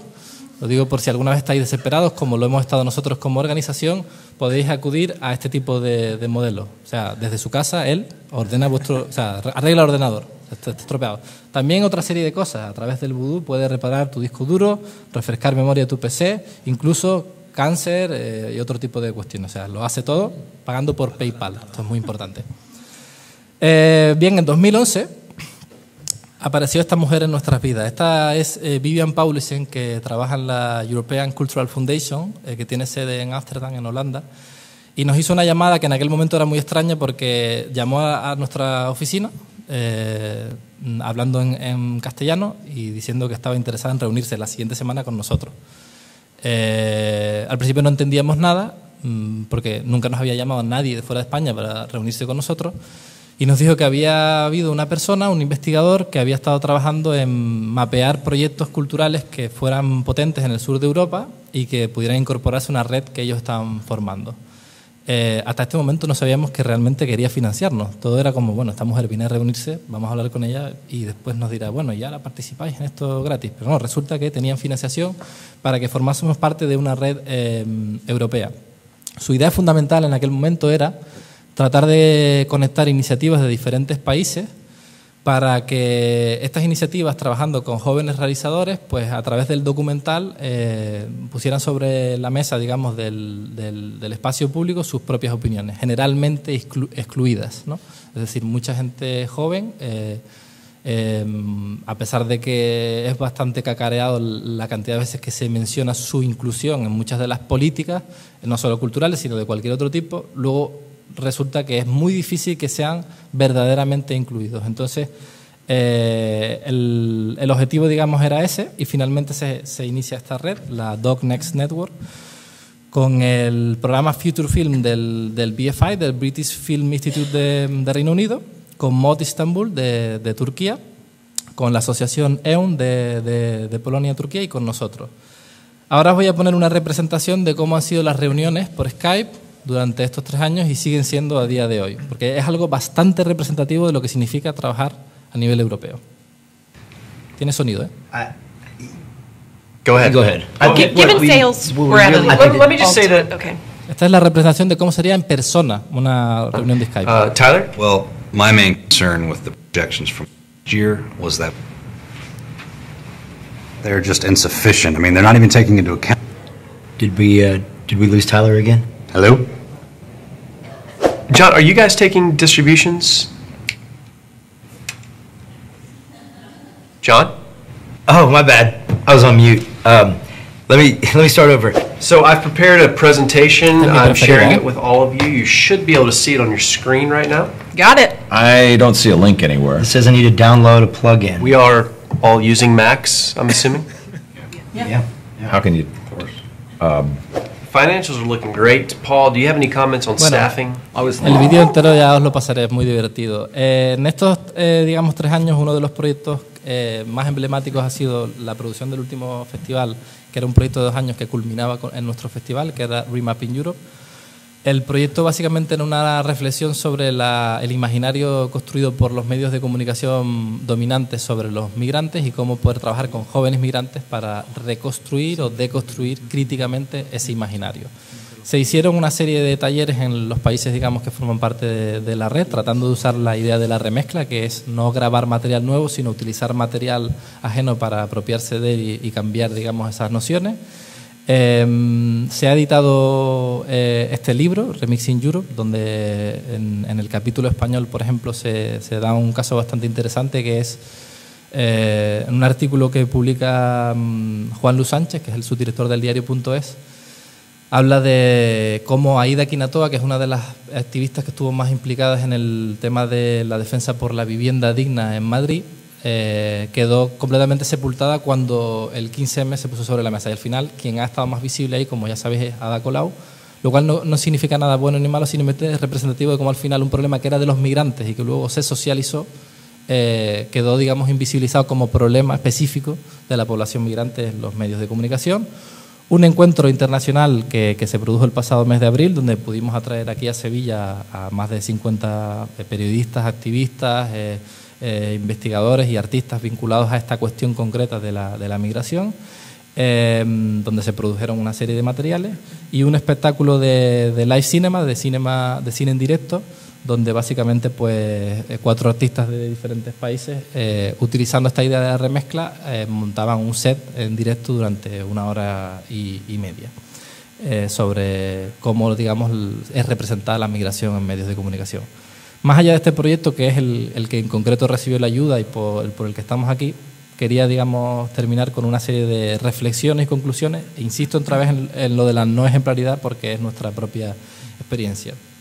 La primera cuestión eh, quizás es que em, nosotros entendemos que la cultura tiene que ser concebida como un derecho y no como un recurso. Hay una cita de, que sale en un artículo reciente de una gestora cultural de Barcelona, Cristina Riera, que dice, creo que hemos sufrido años de defensa de la cultura más como recurso, como derecho, más como estrategia de desarrollo económico y ter- y territorial que centrado en facilitar espacios de desarrollo humano y social.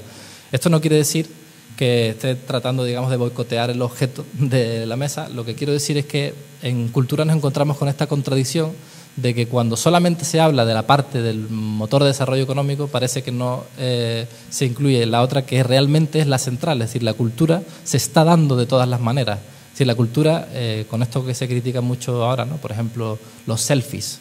Los selfies son cultura, nos guste o no, son, son manifestaciones culturales y habrá que tratar de entender qué suponen. Por eso a veces eh, hay que, que ver cómo son esos procesos y, y tratar de entender cómo cambian la vida de las personas. La otra cuestión eh, es el lado oscuro de esta idea de la creatividad y la innovación. Vivimos eh, momentos muy duros para, para, para quien está trabajando en cultura. Eh, esta palabra hay que decirla más, precariedad. Estamos en un contexto absolutamente precarizado. Nosotros mismos hubo un momento en, en 2008 que teníamos una situación eh, ejemplar en aquel momento de contratación, todo el mundo dado de alta con sus seguros sociales. A día de hoy eso se ha ido eh, todo al garete. Estamos todos como autónomos tratando de buscar bonificaciones.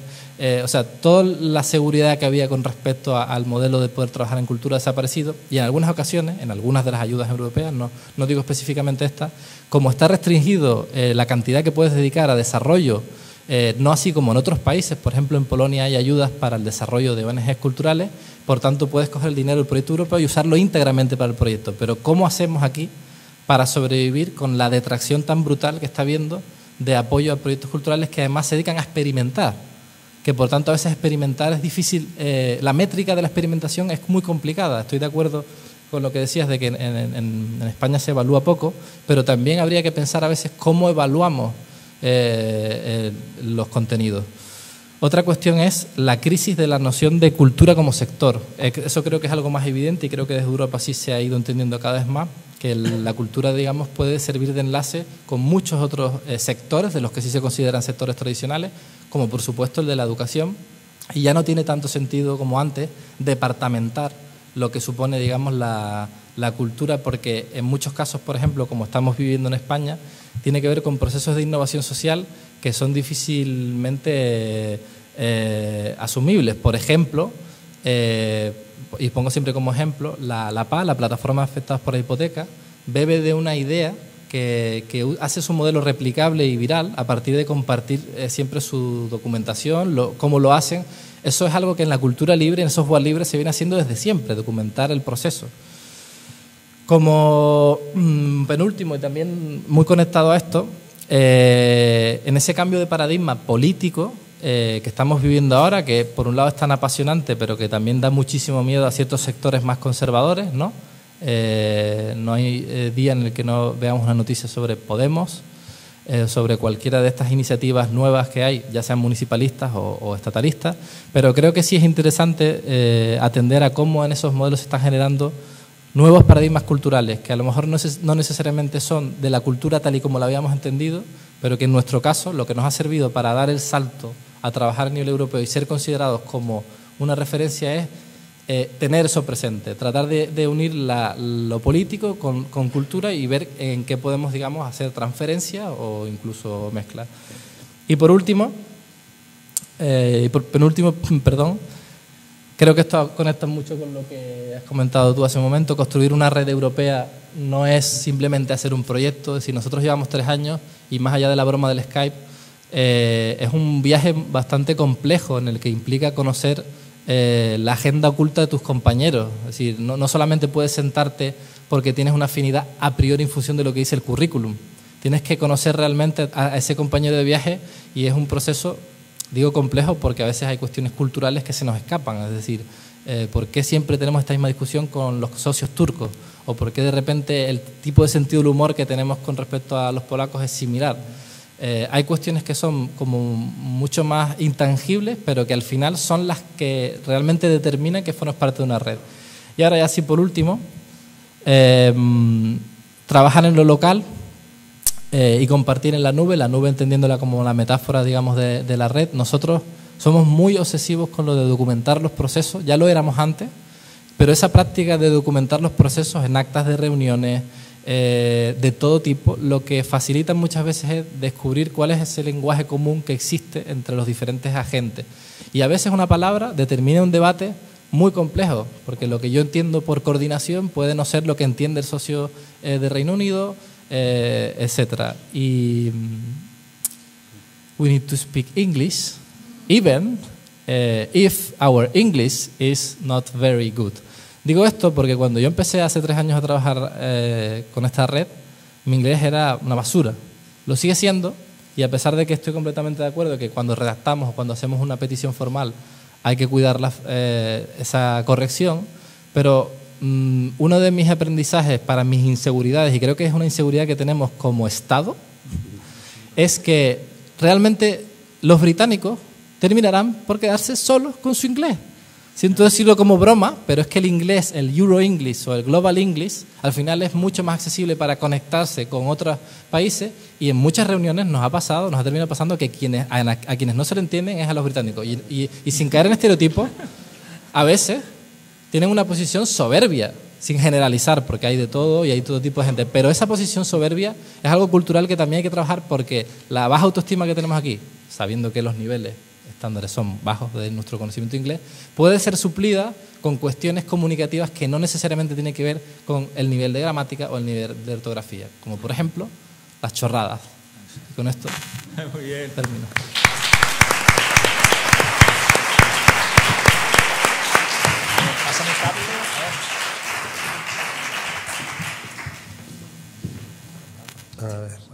Tecnológicas.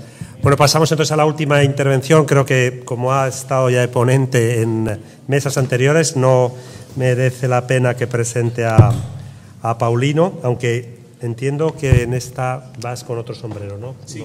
ahora pues ya lo cuentas tú y... Sí, sí, perfectamente. No hay problema. Todo controlado.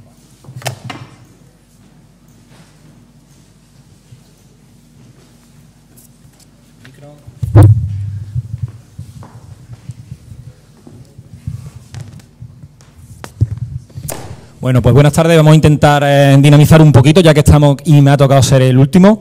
Eh, me ha encantado tu exposición, la tuya, por supuesto, y Tony, agradecerte ese sumario que ha hecho tan espectacular, eh, que me va a servir además, de hecho, para poder montar un poquito, porque no sabía cómo encajar este proyecto del que me han pedido que hable. El proyecto se llama Proyecto Honestin, es un proyecto, dicen Lifelong Learning, que básicamente significa aprender a través de la experiencia. Una de las carencias que somos, bueno, que a nivel también Europa y cuando nos ponemos en, en comparación con otros países, especialmente habla anglosajona, nos damos cuenta es que, y voy a poner un ejemplo mío, yo estudié la carrera de Derecho, ¿no?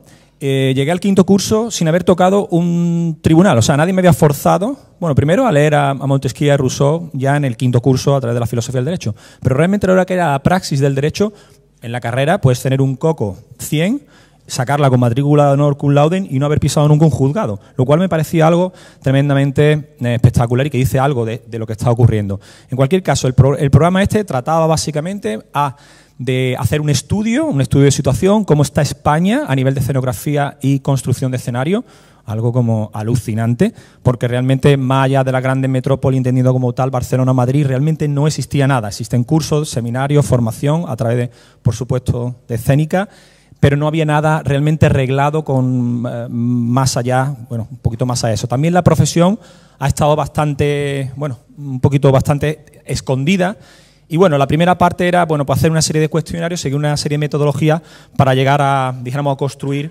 un, eh, curso piloto que tuviera una serie de, de, materias y que vamos a ver a continuación.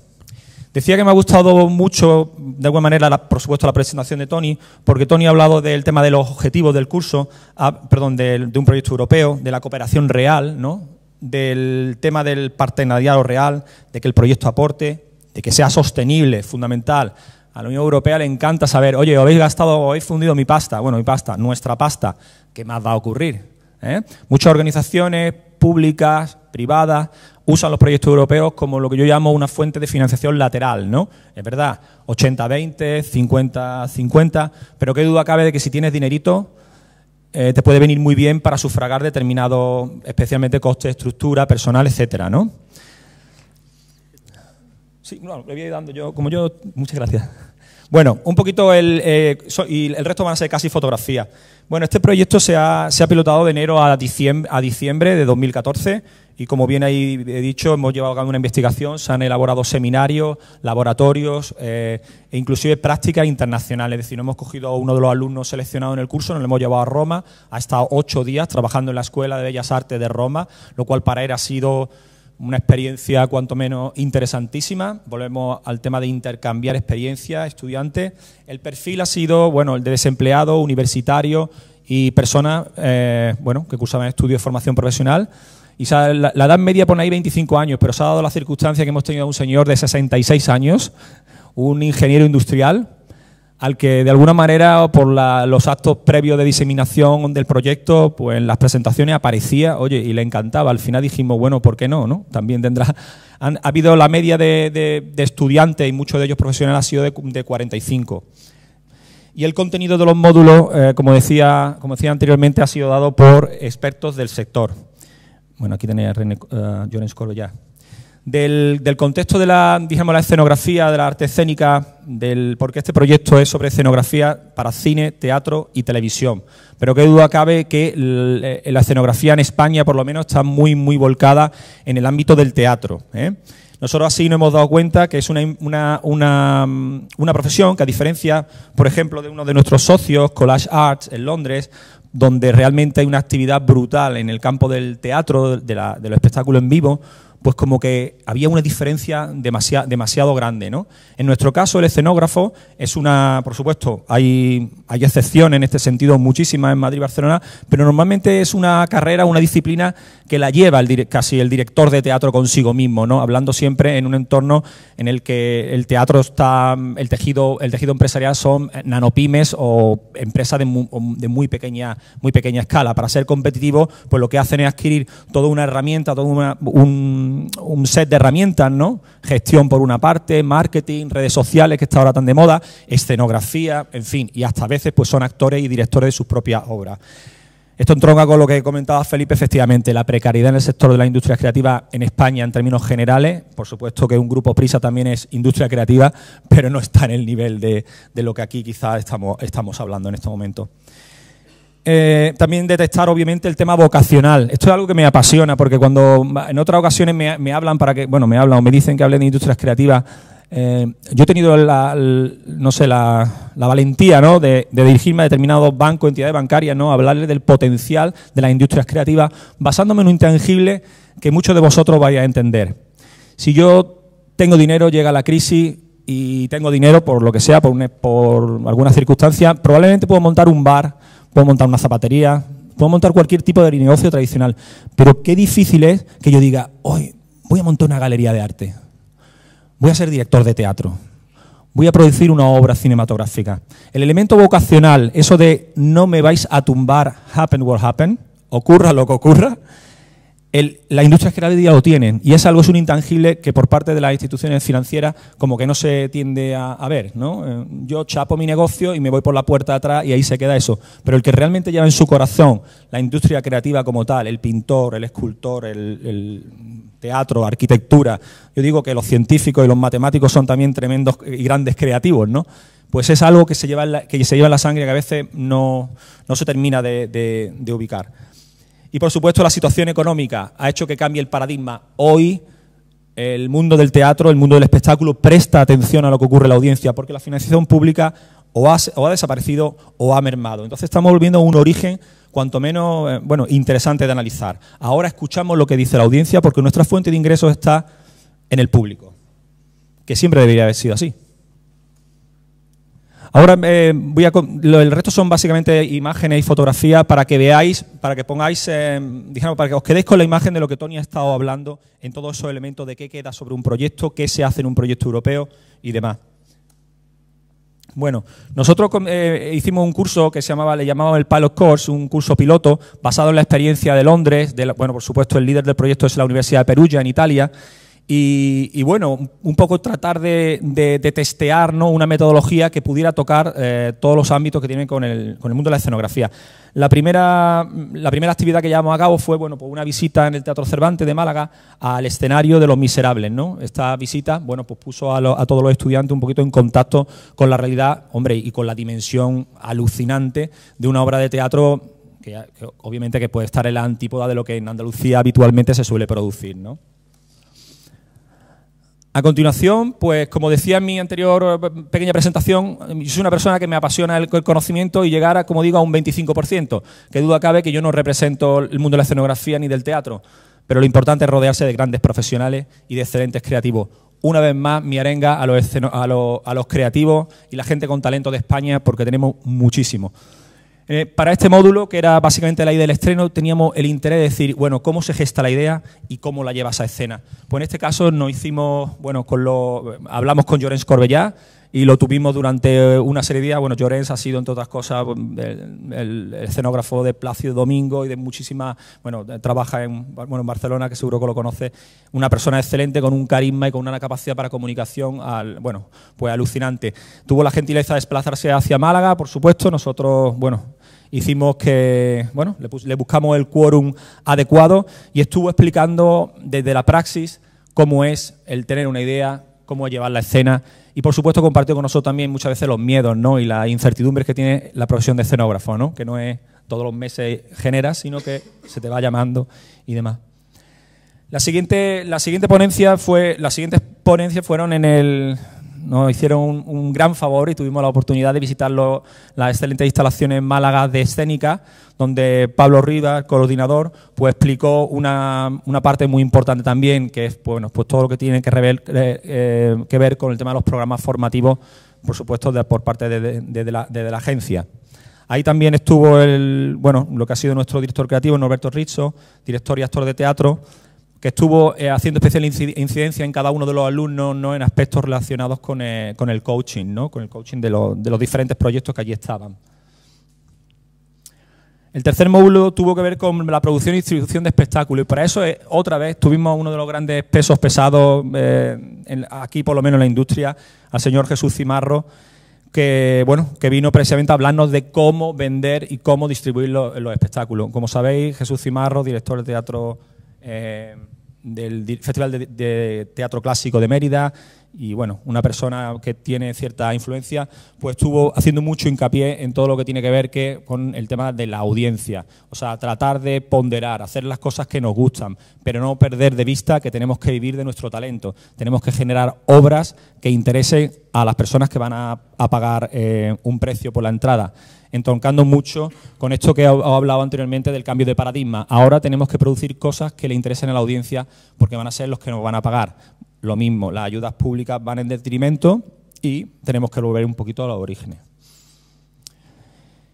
El módulo, el, el, número, ha volado, pero bueno, fue eh, con Fátima Joan Bento, coordinadora de, ya ex coordinadora del Máster en Gestión Cultural de la Complutense, donde ha estado cerca, creo, de 20 años y bueno, fue a dar, a dar unas, unas eh, durante dos días estuvo explicando básicamente de la A a la Z de la gestión cultural, algo tremendamente importante en, la, en cualquier industria creativa. Una productora audiovisual, un productor, un teatro, has que saber gestión, es fundamental saber saber manejarse y sobre todo cuando desgraciadamente volvemos somos nanopymes, somos gente muy pequeñita, si no tienes a un comercial, si no tienes a un administrativo, no te puedes permitir contratarlo, tienes que adquirir esos conocimientos y estos foros son ideales para un poquito tomarle, tomarle el contacto. Tuvimos otro módulo también que nos venía eh, un poquito impuesto desde, el programa, por supuesto, con el tema de seguridad del teatro. Aquí estuvimos en el Teatro Alameda y quedaros con la idea esta que dicen mucho los marines, ¿no? El demonio está en el detalle, fundamental. Luego tuvimos una, hemos tenido a lo largo de todos estos meses una serie de grupos de trabajo aprovechando que estos profesionales llegaban a Málaga y nos lo llevábamos a sitios tan formales como el Pimpi, la taberna, lo podéis ver ahí, ¿no? Y a hoteles donde tomábamos un poco en un tono más distendido, pues un contacto con la gente que estaba que está en Málaga o que eh, pues para que pudieran hacer preguntas in situ a estas personas y de ahí han salido, bueno, ideas realmente interesantes, también sentirnos de que no estamos solos, o sea, que los problemas que tenemos en Málaga probablemente también los tienen, bueno, probablemente no, los tienen en Madrid, los tienen también en Barcelona. Y luego cada uno de los, de los proyectos ha tenido una supervisión online, con, como podéis ver aquí, a través de Skype, con todas las dificultades, Felipe, que tú comentabas y mira que era en castellano, pero es verdad que la red se cae, la red no funciona, en el hotel la wifi no te dan el contacto, en fin, un desastre. Pero bueno, hemos conseguido, hemos conseguido superarlo todo. Y, bueno, tras terminar el tema de los seminarios, comenzamos con la praxis, con el tema práctico. Para ello hicimos dos, dos módulos también uno sobre Atrezzo, en los estudios de cine y televisión Lo Azur, donde se hacían todo esto de la serie de Arrayán y, demás, ¿vale? Con una compañía que se llama Mediteatro, muy especializada en el vestuario de época, ya que está también tan de moda entre la gente joven y, bueno, de todos nosotros, series como Isabel, ¿no? Y todo esto, ¿no? Y bueno, básicamente fue pues, el proceso de creación desde el boceto, los alumnos traían sus bocetos y luego se hacía toda la parte de confección, inclusive el, tema del workshop, o sea, daros cuenta el caballero de la Cruz Roja ahí, ¿no? Pues bueno, con su casco y toda su historia. Creo que fue una experiencia que desde luego en las redes sociales, por lo menos la gente de Facebook, hemos tenido una, una repercusión eh, a través de mensajes directos que van a formar parte del final report, ¿no? Porque, mm, bueno, la gente habla de una experiencia realmente inolvidable. Y luego el segundo laboratorio, que ya eh, terminamos con esto, pues fue un, laboratorio bastante, bastante diferente a lo que se ha hecho en el resto de países, porque a lo largo de las entrevistas y de todo lo que estuvimos hablando había un gran desconocimiento en el ámbito eh, teatral, vuelvo a lo mismo, de lo que hemos tocado nosotros, sobre el funcionamiento del tema de los FX y todo esto de la composición, ¿no? Entonces pensamos que por qué no hacer un taller sobre escenografía digital, es decir, cómo utilizar elementos eh, sólidos con pantalla verde e inclusive incorporando un elemento que generamos digitalmente en nuestros estudios, un dragón que volaba, ¿no? Nos fuimos a un estudio de, postproducción en el mismo en Loa Sur, eh, montamos un proyector, una pantalla, los alumnos estaban aquí así sentados, grabamos a un alumno, lo vestimos de romano, como podéis ver ahí, él hizo cuatro ejercicios así de espada y luego vio en tiempo real cómo esa imagen, cómo esa captura, la cámara grababa, lo pasábamos por el workflow a un ordenador y veía como un dragón, como dijéramos en teoría, luchaba o peleaba con un dragón, ¿no? Fue también una de las de la, de la experiencias que bueno, que de hecho ahora eh, uno de los socios de Londres nos ha pedido que la hagamos em, bueno, en un evento que van a hacer en King's Cross, allí en Londres. Y bueno, yo encantado, bueno, no yo, encantado la vida que por supuesto Juanma vaya. Y bueno, ya como colofón, simplemente conectando a los profesionales, o sea, el ámbito también internacional. Pues uno de los proyectos de escenografía, pues lo tuvimos em, bueno, pues dentro del proyecto también pues se ha becado a un, estudiante, a Juan Manuel, a que volara, con, en este caso conmigo, a Roma, donde ha estado bueno, pues trabajando con gente de la Universidad de Bellas Artes de Roma en un ambiente que duda cabe, pues, pues, pues de lujo. Pues eso es todo. Muchísimas gracias por vuestra atención.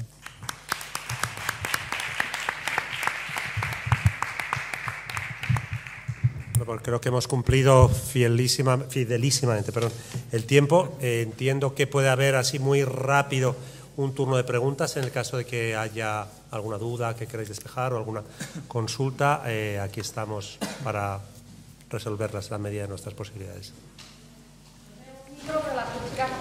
Sí, soy bien. otra pregunta, aprovechar, aquí a expertos, evaluadores, punto de contacto.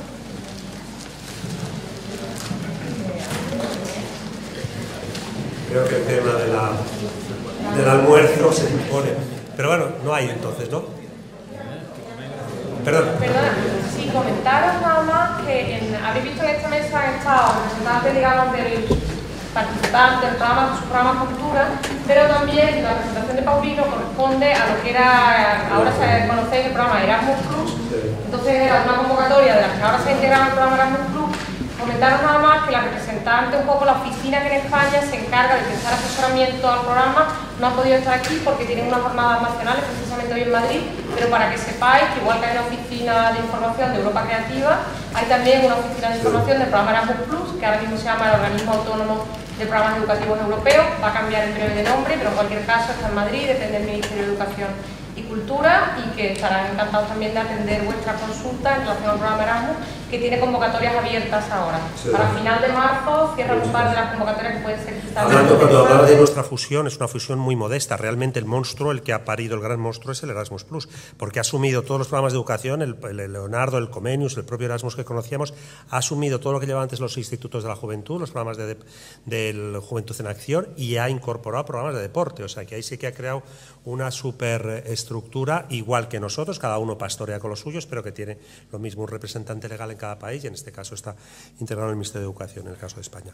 Pues gracias, me imagino, bueno, a, la agencia, por supuesto, a los colegas, un, lapsus que he tenido imperdonable y que Teresa me perseguirá porque se me ha olvidado dar las gracias también a la Federación Andaluza de Municipios y Provincias, o sea que nobleza obliga y que esto queda a los ponentes sobre todo y a vosotros por haber venido, que ha sido lo más interesante. Gracias.